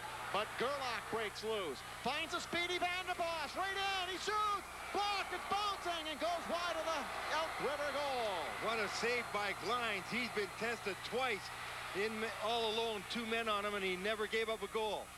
Droogsma right back and we've got racehorse hockey all of a sudden opening up here tonight. Nick Droogsma is checked and dumped to the ice. No penalty there. Flutie going into the boards is hammered by Majeski. Puck into the goal crease. Stepping out. Oh, another big hit on Majeski. What a third period this one is. It's all out now, folks. Just three minutes ago in a tie game. Joel Hanson comes back looking for Bailey. Fires it across. Oh! And just off of his stick of Paul Martin who broke in. There's another blast, and that one's wide. Here's Navy at the point, getting it down low for, or attempting to at least, for Joe Bailey, but it's blocked. And Hastings will take off the tension and ice the puck. Standing ovation by the sellout crowd at the Target Center.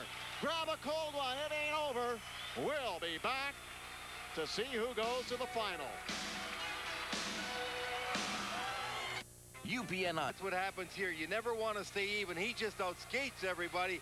Made a good move, but the goalie beat him on that one.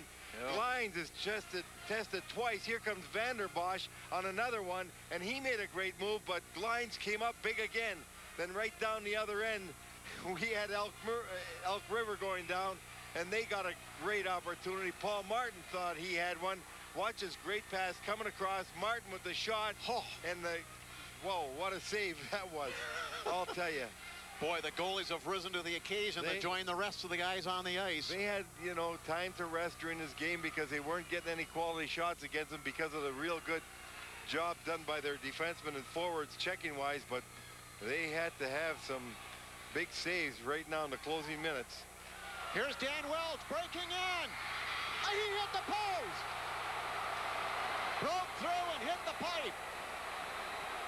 No icing here as Klein stops it for Bobby Miller. Wow, what a finish to this one. Paul Martin will drive it in from center, but his teammate was still trapped in there, and that's why we have a whistle. And Martin wanted to get a little bit of rest. He didn't worry about that. On that opportunity for Welch, the puck was thrown high, and they lost sight of it. Everybody lost sight, and Welch just keeps coming from the side. He saw it from the right, kicked it ahead, and he had that speed. He went to the side. He beat the goaltender on the far side, but there wasn't enough room where he beat him. Glines played him well, and all he had left was that pipe area, and that's what he hit. And I tell you, as we're showing the replays, they've got him on the uh, scoreboard clock here at the Target Center, and you can just hear everybody in the building going, ooh, boy. And now a change made by Welch. He's trying to get uh, Taffe's line off there and get stuck with Dr uh, Brummer out there. Brummer should have gone right to the boards, and when the puck was dropped, come right off and be staying with his man. But since they didn't have last change, he stayed on the ice, and that's going to free Welch up on the next shift. Here's Trevor Stewart with a long shot that Klein gloves going to his knees. We've got one more break to get out of the way. We'll do that right now and be back for the final one minute and 50 seconds of this third period. Forward line because they didn't want to stay on the ice, but they had to. Welch has got the last change for Hastings, so they get the rest of the extra 20, 30 seconds here, and they really needed that because they were on for Welch's line and this next line. Stewart pulls it back. Martin shoots. Stewart and Gerlach will face off once again. Every one of these that happens, you're going to see a, a, whistle taken and the forwards really happy about it. There's a shot by Martin. He misses the check coming out. Gets it on the net. Good save by Glines. This time Hastings controls in the face-off. Joe Stewart. Watched by Brummer and check.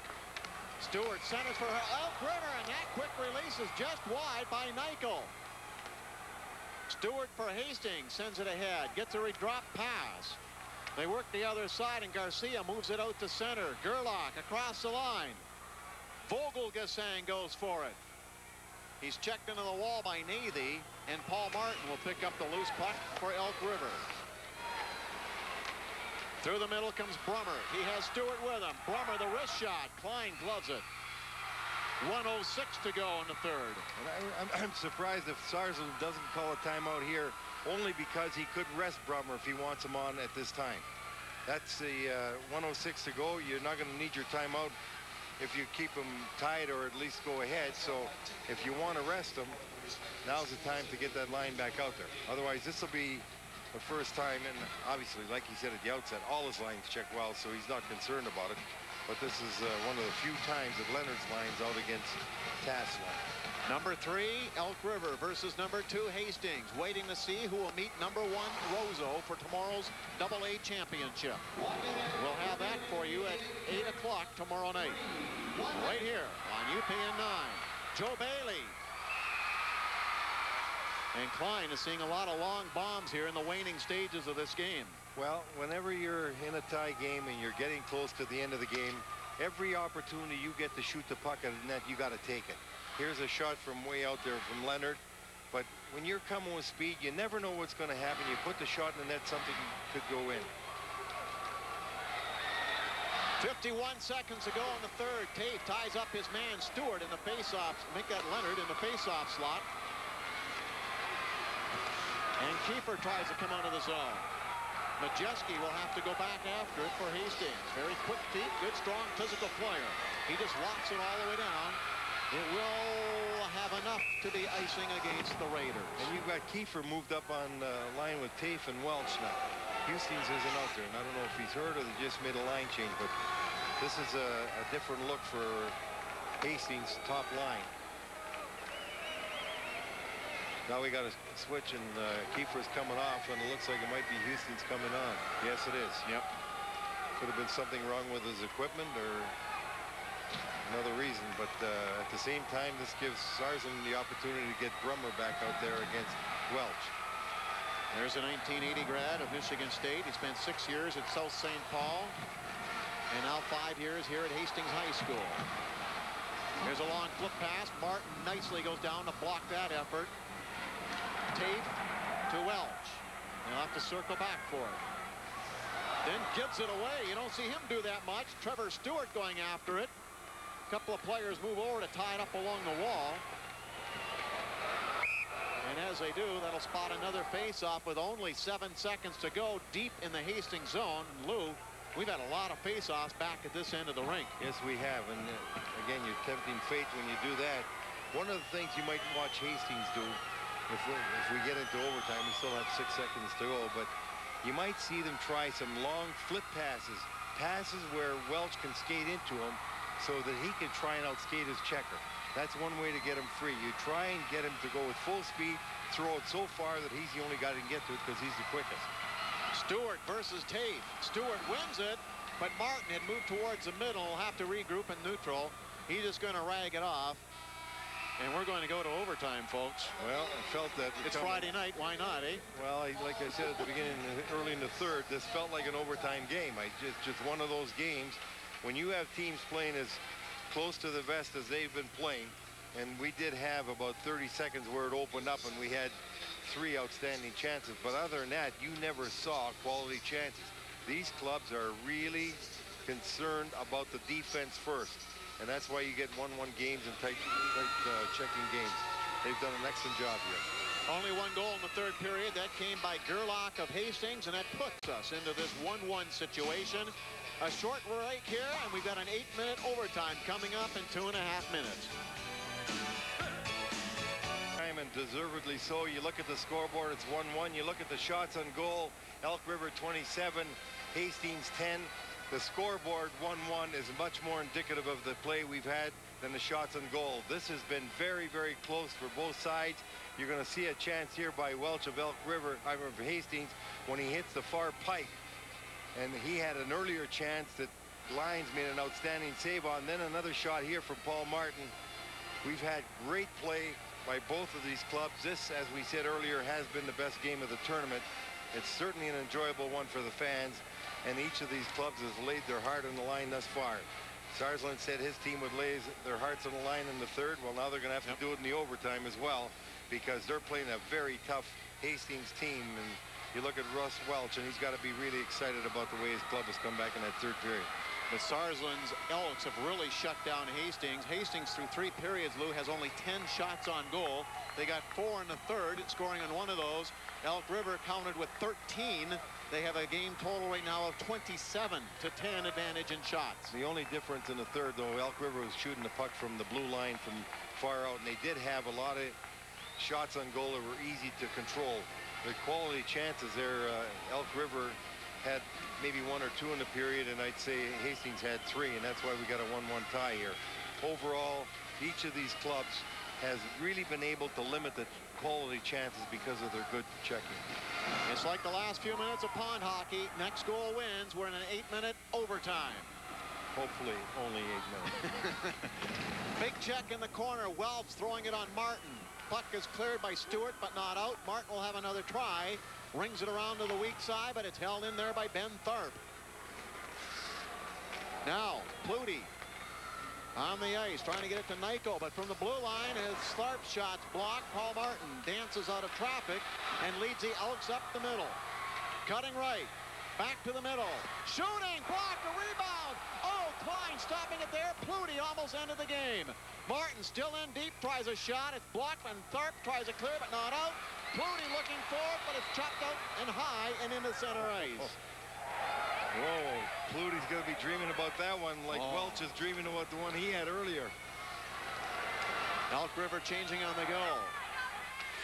Ben Tharp bringing it to center ice and sliding along the rail back in behind the goal. Paul Martin over to Joe Bailey. Bailey's long cross ice pass to Joel Hanson one-on-one. -on -one. Stewart riding him out of the play. Nice job by Joe Stewart of Hastings. Leonard trying to pry it out of there, but he's uh, beaten to the puck by Hastings. Here they come.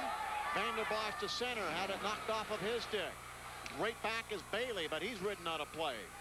Derek Garcia now. Up for Vanderbosch. The little spark plug.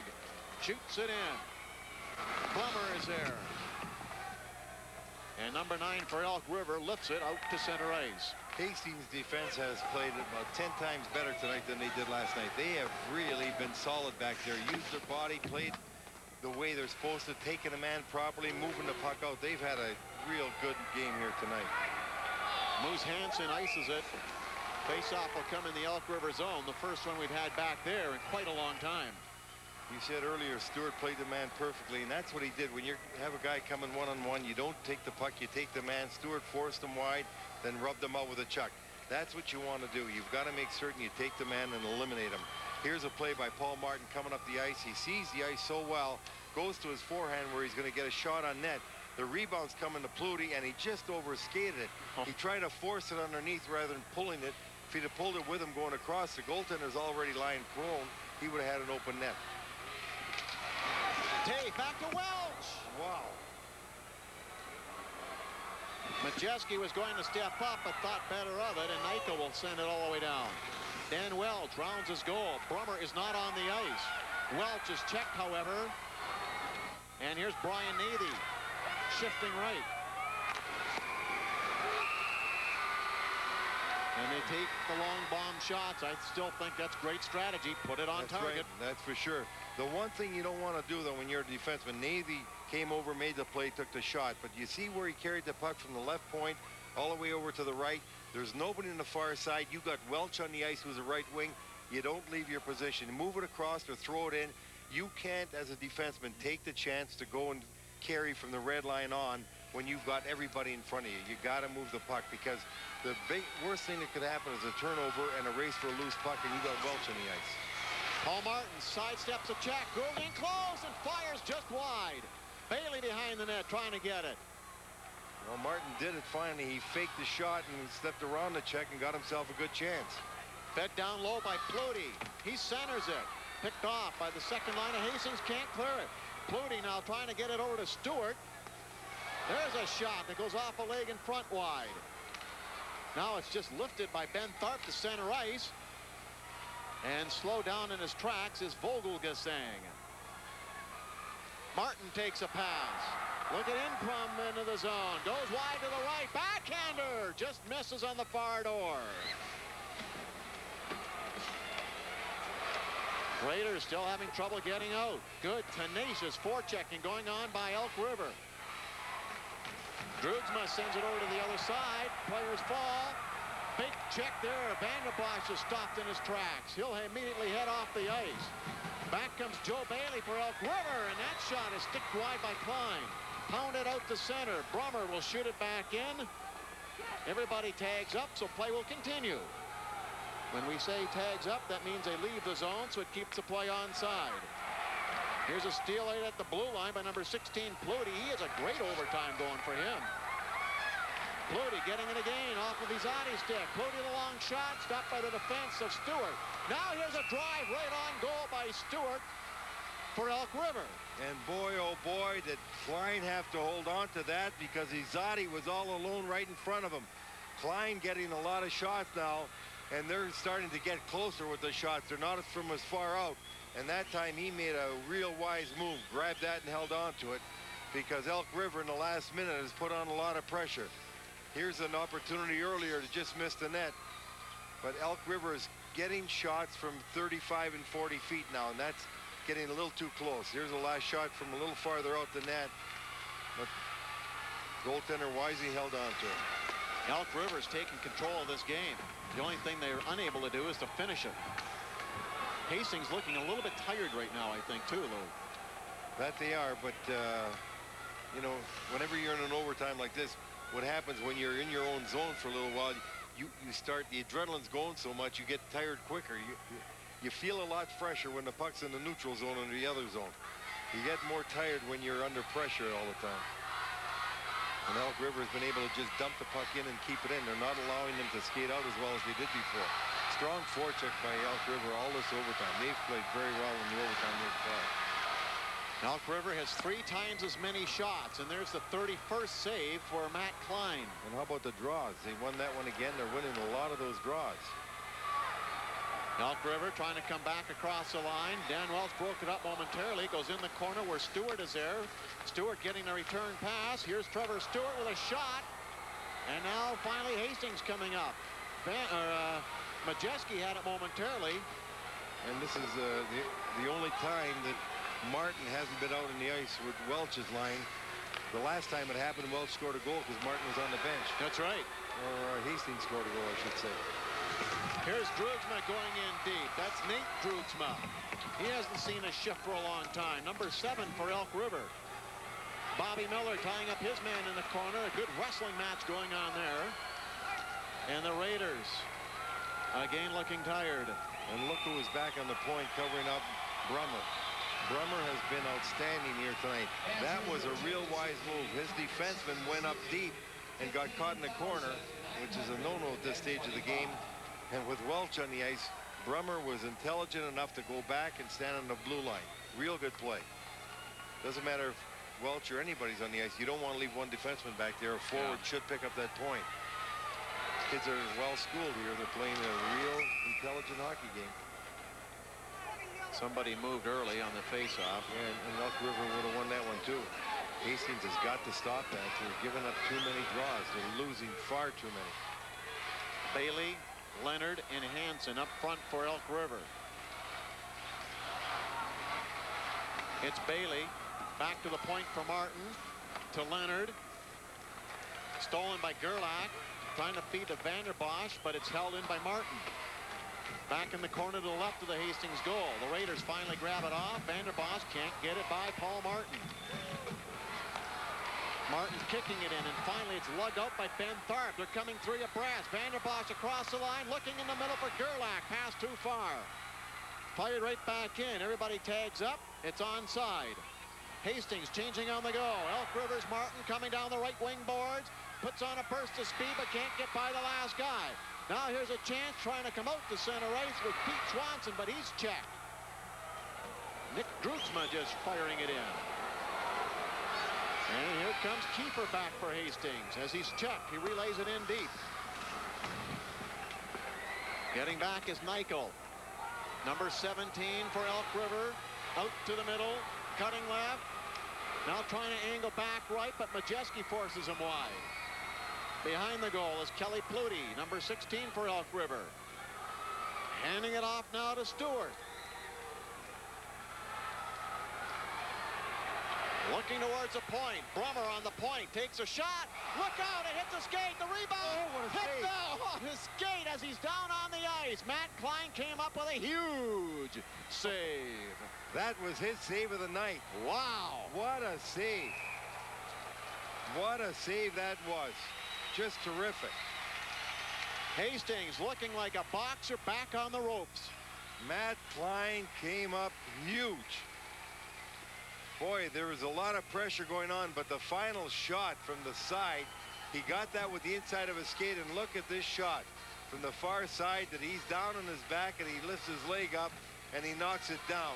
That shot by Pluty was ticketed all the way. Wow, is this a finish or what? 123 to go in overtime, number one. And if we got a switch here or what, Brummer is now playing defense with Martin. He's done that for the last yep. few shifts. Yep. Now Elk River taking a shot, and it rises off of a leg just wide. Leonard getting it. Back to the point for Brummer. He lets it go. Blocked by Welch. Welch trying to sidestep Brummer, but unsuccessful in doing so.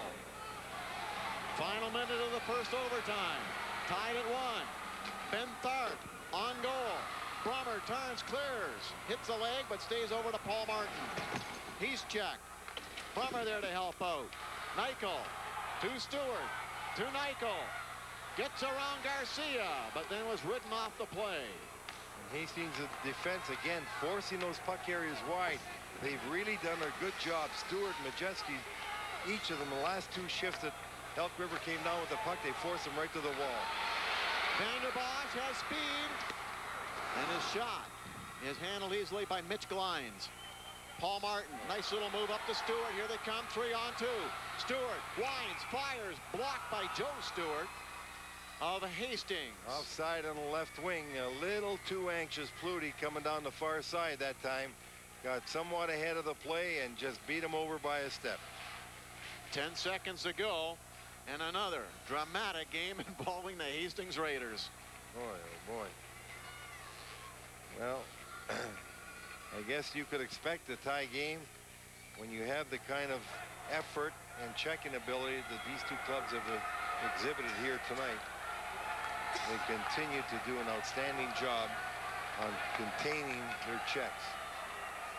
Jed Leonard won the faceoff. Joe Bailey's backhander blocked. Clock is slowly ticking down. Martin will let one more shot go. And that's it for the first overtime. There will be a full-blown intermission here. I think it's an intermission that Hastings can really use, Lou, because there's no question that Elk River is carrying the mo in this one. Yeah, there is no doubt about that. I, I guess you'd have to say that uh, from the outset, Hastings really wasn't a threat in that overtime. That eight minutes completely dominated by Elk River. They had a lot of shots, a lot of opportunities uh, from far out, and then they had two or three from close in. Klein made his save of the game on one of the shots from Pluty. And overall, when you look at the ice that period, it was slanted in, into Hastings zone. It just seemed like every time we looked up, we were getting a face-off or some play in Hastings defensive zone. Great effort by Elk River that period. It was a very solid period by goaltender Klein for Hastings.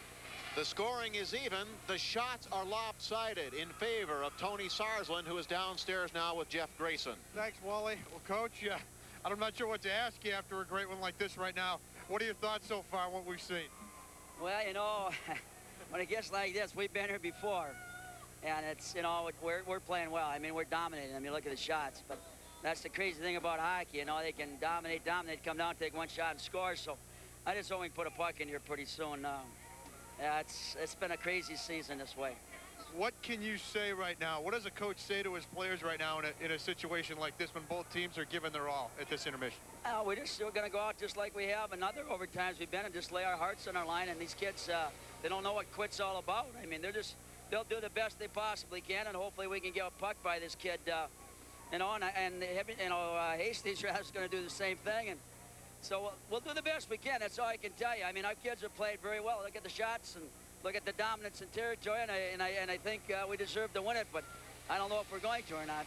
Coach, we'll let you get in and talk to your team. Thanks. Thanks. That's Tony Sarsland now. Over to Andy Skoogman. Okay, Jeff, thank you very much. Russ Welch, they dominated you in that overtime, oh, didn't they? Oh, my gosh, they've been dominating us the whole game. I, I don't know what it was with Hastings. I mean, it was Duluth East last year, Blaine last night, Elk River tonight. It's just it's just one right after another. But uh, we're hanging on for dear life right now. They're just taking it to us, like you said. Tell me what you have to do. We have to get a break. I mean, they are a solid team. They are the best team we have faced all year. There's no doubt in my mind. We have not faced a team with this smothering of forecheck and defense all year long, and we're just having trouble getting out of it. We need a break somehow, bounce somewhere.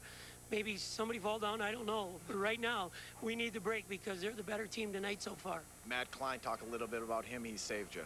Yeah, last night he had a tough night, so we decided to come back with him, knowing that he probably wouldn't have two bad games in a row. And boy, he has had a heck of a game tonight for us. Coach, I'll let you get in the locker room. Good luck. Thanks. All right, Hastings, Elk River, 1-1 after one overtime. Don't go away. We've got a barn burner here at Target Center. We're back with more in a moment. 11. But as you see here, all that counts is just two goals in this game, one by each club, and it has been a sterling performance by Elk River.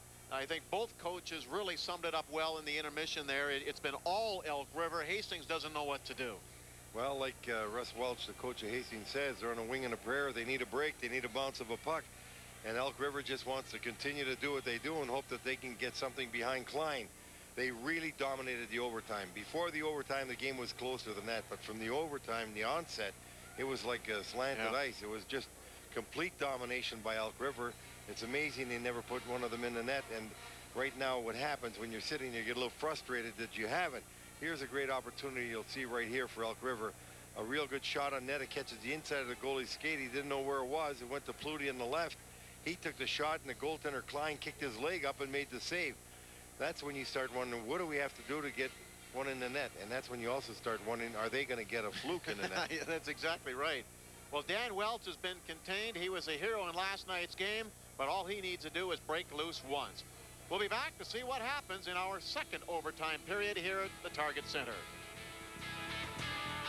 Town Minneapolis, the site of the 1999 State Boys High School Hockey Tournament. It will be here as well next year, and then moving over to the brand new arena in downtown St. Paul. But the story right now has been uh, phenomenal. Uh, uh, come on, folks, the game is not that boring. He's got one eye open. No, he's opening. he closed it.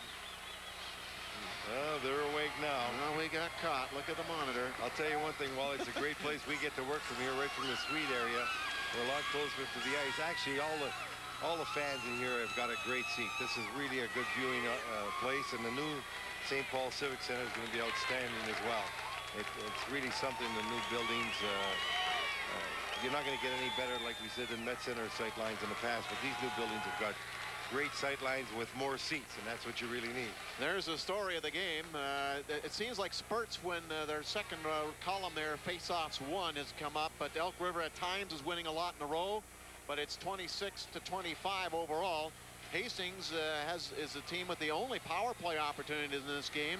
And for a team that did 43% over the course of the regular season, they're 0 for the playoffs at the state tournament. And 0 for 3 with only 11 shots on goal. That tells you that they didn't have a very effective power play because that means they had six minutes when they had a man advantage and they only have 11 shots total in the, the game thus far. So good checking job by Elk River. Overtime number two, period number five. Hastings trying to come out of their own zone. They were tired through the third and the first overtime. Let's see if they found some new energy with that rest in the intermission. Brummer make that uh, number three uh, Navy taking a shot, trying to clear it, unable to do so. Here's Taffe along the wall, just rolling it back down low, looking for Houston. He tries to come out of the corner. Just popped from behind by Stewart. Stewart dropped. There's a shot right on. And one of the few tests that Glines has seen in a long time is blocked. And that was a really uh, surprise to me. They had Pluty's line out there against Taffe's line. And uh, whether you got a lot of confidence in your people or not, the other way that you've been going has done so well with Brummer on them that you hate to flirt with uh, the kind of success you had. While Hanson was just popped on a big check there by defenseman Joe Stewart, who stood up on the play for Hastings. Now Garcia playing it. Nathy has it, then lost the puck. Trying to come away is Gerlach, but boy, was he hauled down by a back-checking effort by Nathy. And the coach has made the decision now to go with Brummer on defense all the way. He moved him back there a couple shifts into the overtime, and he's got him back there now. And he's going to go that way. Joe Stewart's long bomb pass is uh, way out of everybody's reach. It'll be an icing call against Hastings. What that tells you, Wally, is either you're you're concerned that your defensemen are getting tired. You can't play Paul Martin as much as you want, so you want to get Brummer out there. You got a great deal of respect in his defensive abilities. And you're also taking someone else out of the lineup, but at the same time, you're giving up the great checking job that I think was a key for Elk, River thus far. Trevor Stewart won the draw. There's a shot, a loose puck.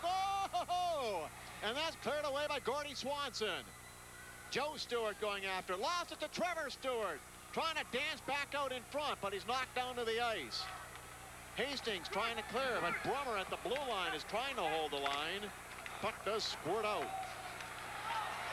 16 is Pluty. Brummer made a great play there, and that would have been doing it all playing defense and then scoring a winner, only to have it saved by Klein. Chasing it back into his own zone is Nick Droogsma. He's number five for Elk River. Trying to help out down there is 16 Pluty, who's had some chances here in overtime to win the game. And here's Dan Welch back at center ice. Up to Tate. The shot. Finds a save. It's bouncing in the crease. The rebound. And it just hops away from Majeski, who had moved in. Majeski's lost his stick. He's a defenseman. Puck is cleared by Elk River, and for the first time, they're sent back reeling in the overtime sessions. We're going to take a short break and be back at Target Center for a turnaround that looks to be evolving here. Takes a shot. Glines makes a save, but he can't find a rebound, and Houston's breaking in, trying to get that loose puck as you see an open net, and it just bounces away. And a very close one there for Hastings and also Elk River. You see now, Wally, you've got Taffe line staying in the ice. And what happens now when you've taken the checker that's paid so much attention to him away, you've got to make sure whoever comes out and check him does the same job. Because when Yeah. Brummer was on Welch, Tate only had Hustings to work with, and he he wasn't carrying the puck through people, and it really eliminated the offense because Welch es- essentially was eliminated. Now when you have him out there, if someone's not going to watch him or shadow him as much, it gives the center more options than he had before. And Brummer not on the ice. But you got uh, Paul Martin out there. You're going to make sure Martin or Brummer's always on the ice. At least that's the way it looks to me what he's doing whenever Welch is out there. Welch was knocked down. Both feet were inside the zone, and that means it's offside as his teammates try to come in on the attack. Surprised me that they came right back with uh, Taffe's line so quickly because, you know, Hastings came out, they were fresh. And if you start using your key players too early, too much, you could get them tired. And if a goal isn't scored by then, then you're really going to be in uh, sitting back on your heels a little bit. Elk River using more players than Hastings has right now. Joe Stewart stepping up into the play as the Welch, Taffe, and Houston line stays on the ice for the Raiders. Here is Houston, but it's a bouncing puck. Paul Martin stepping up, brings the Elks on the attack. Here's Martin at the edge of the circle, but that shot is blocked by Matt Klein. Back again for Martin. Tossed into the slot. Picked up now by Ben Tharp. Finds Welch. Fires! Whoa, and Klein's just got a stick on that one. He can shoot And the a puck. whistle. Went on a play. Welch got a lot of wood on that one. Glines had to make the save. You see, here he comes with speed, and when you're coming with speed, and boy, was that that shot was ticketed for that It, corner. it was going in. That was a good save by Glines. He had some mustard on that one. Solid all year. He was second in the conference with a 1.93 goals against average, Mitch Glines. 1.88 entering the state tournament here. Gerlach lost the faceoff. Moose Hansen shoots it back down into the Hastings end. Joe Stewart brings it around. This is a line that could be very dangerous for Hastings right here. We're playing against the third line of uh, Elk River, and this line for Hastings has got speed. Here's Vanderbosch, the fast one on the line. Passing it up the middle. Here's an opportunity for Gerlach, a breakaway. Oh, and a stop right at the goal line. The puck, however, is still loose, but the net is obviously gone. Lots of pushing going on. Line's not even in there anymore.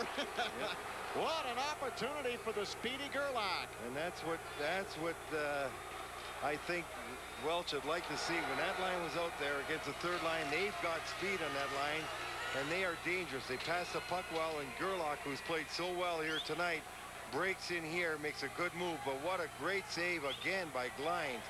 He's had to come up big with a couple of times, and that was terrific. An outstanding play. Vanderbosch made that far pass, and boy, oh boy, did he ever make a good save. Then if you go for the rebound, here comes Eric Hansen, who's six foot three, and he's going to make you pay. and you know, Vanderbosch, Gerlach, a shot right on the puck is still loose. The goalie's in the net. The puck is not. boy, right on the line. Right Look on at that again. the line. I think that Elk River will change lines here. They better.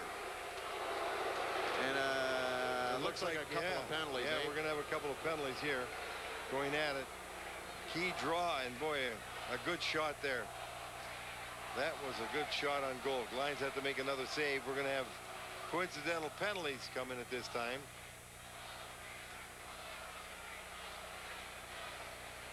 Glines has had more work in the last minute and a half than he had in the previous 10. He had to come up big there again.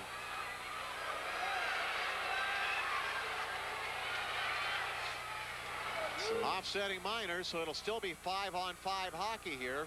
It just means Moose Hansen and Vanderbosch are out of the game for a couple of minutes. They'll be available for duty the first whistle after the two minutes have expired. On the outs, number 33, Eric Now, Hansen. stepping up, Majeski, shot hits a skate. Going after it into the slot was Houston, but couldn't get there, and here come Elk River back. Paul Martin, another rush up ice, but Brummer was knocked offside by Dan Welch. He gets a little retribution. And now Sarsland has elected to go back to Brummer on Welch. Yeah. And this time, as you said, Welch got retribution because he took Brummer down and took him over the line. Good play by Welch there, giving Brummer a little bit of his own medicine. Saying, Looks like Tony Sarsland has changed his strategy a little bit here in this overtime, Louis, and I don't understand it. well, I think he's come back to it now. He, he- Yeah. Unless, well, he's just, yeah, he has come back to it. Now he's, he's going back to where he was comfortable before with Brummer on Welch. And uh, you got Martin on the point. Brummer, Stewart, and Nichol up front now. For Elk River. Houston can't find it. Nobody can. Well, we have a whistle. That's why nobody's looking for it. A couple of players were squared off, and it looks like two more penalties. two as, more going in. Dave's going in. It looks like Stewart probably.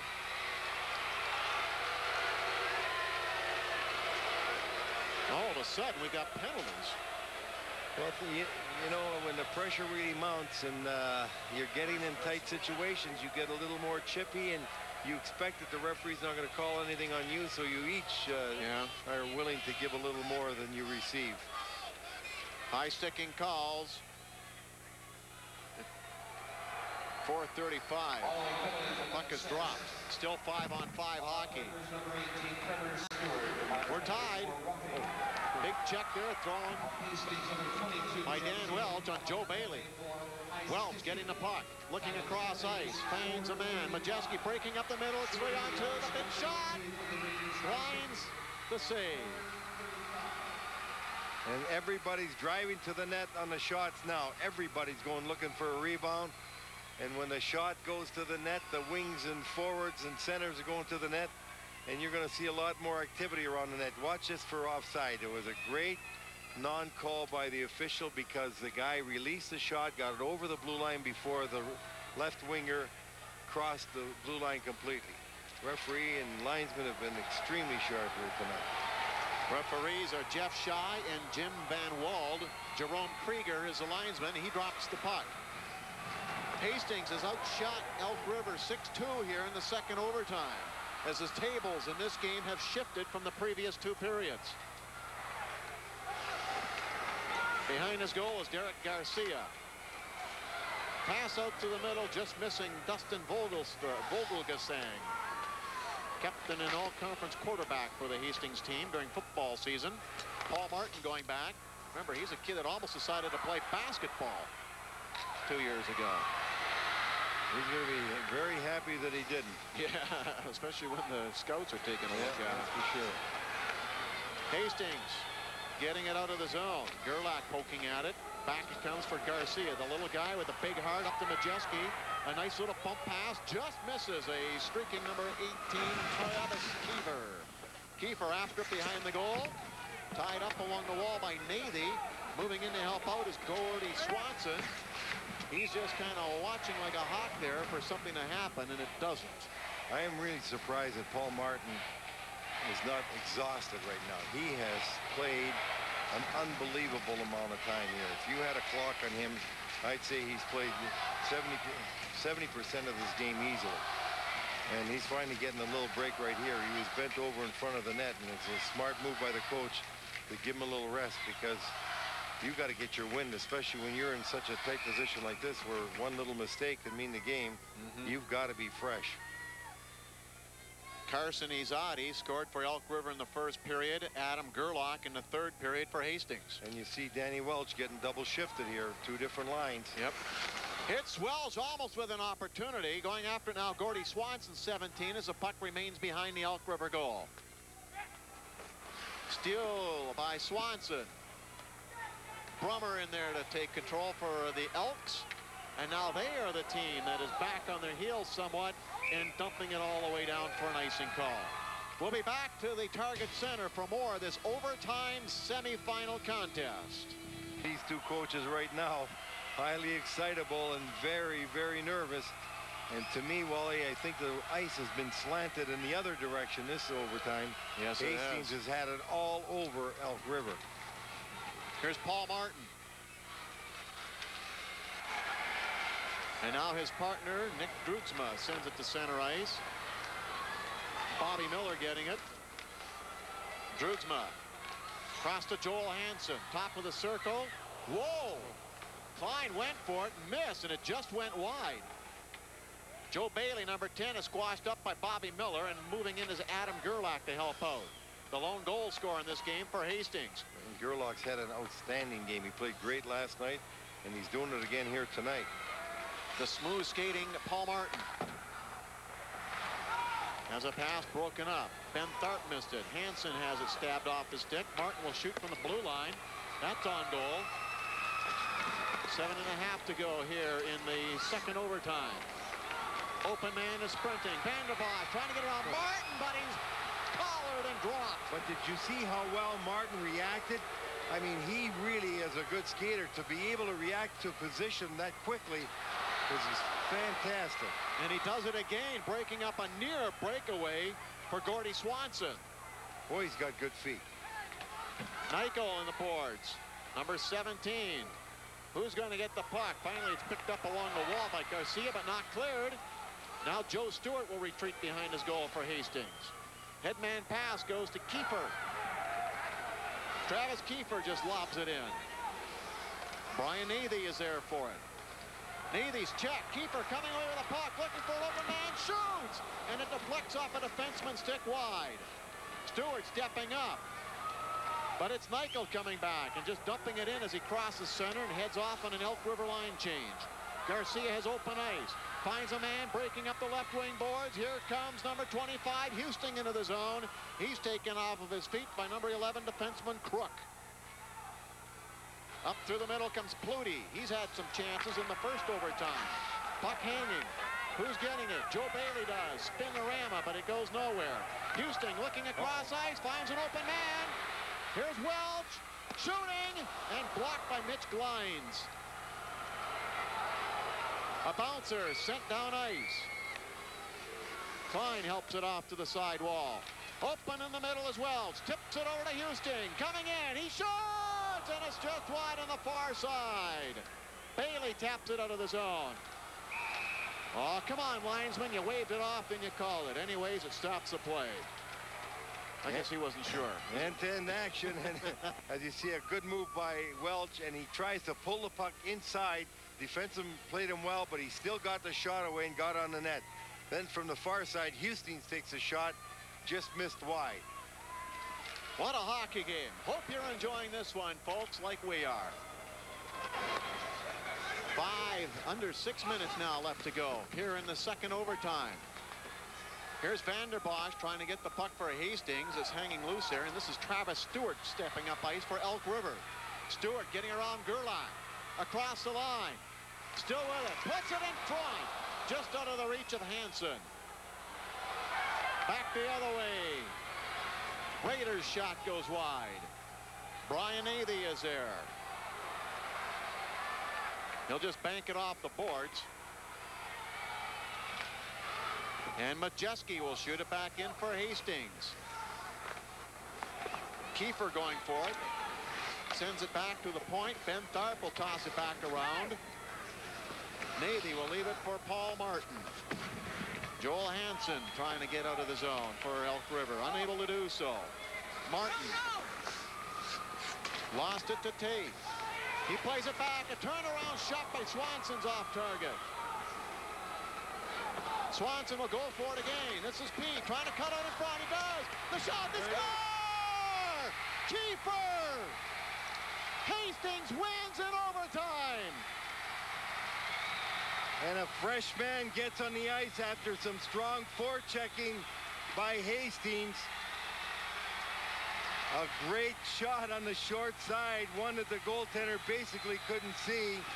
And it just finds itself on the inside of the pipe. And Hastings will be moving on to play Roseau.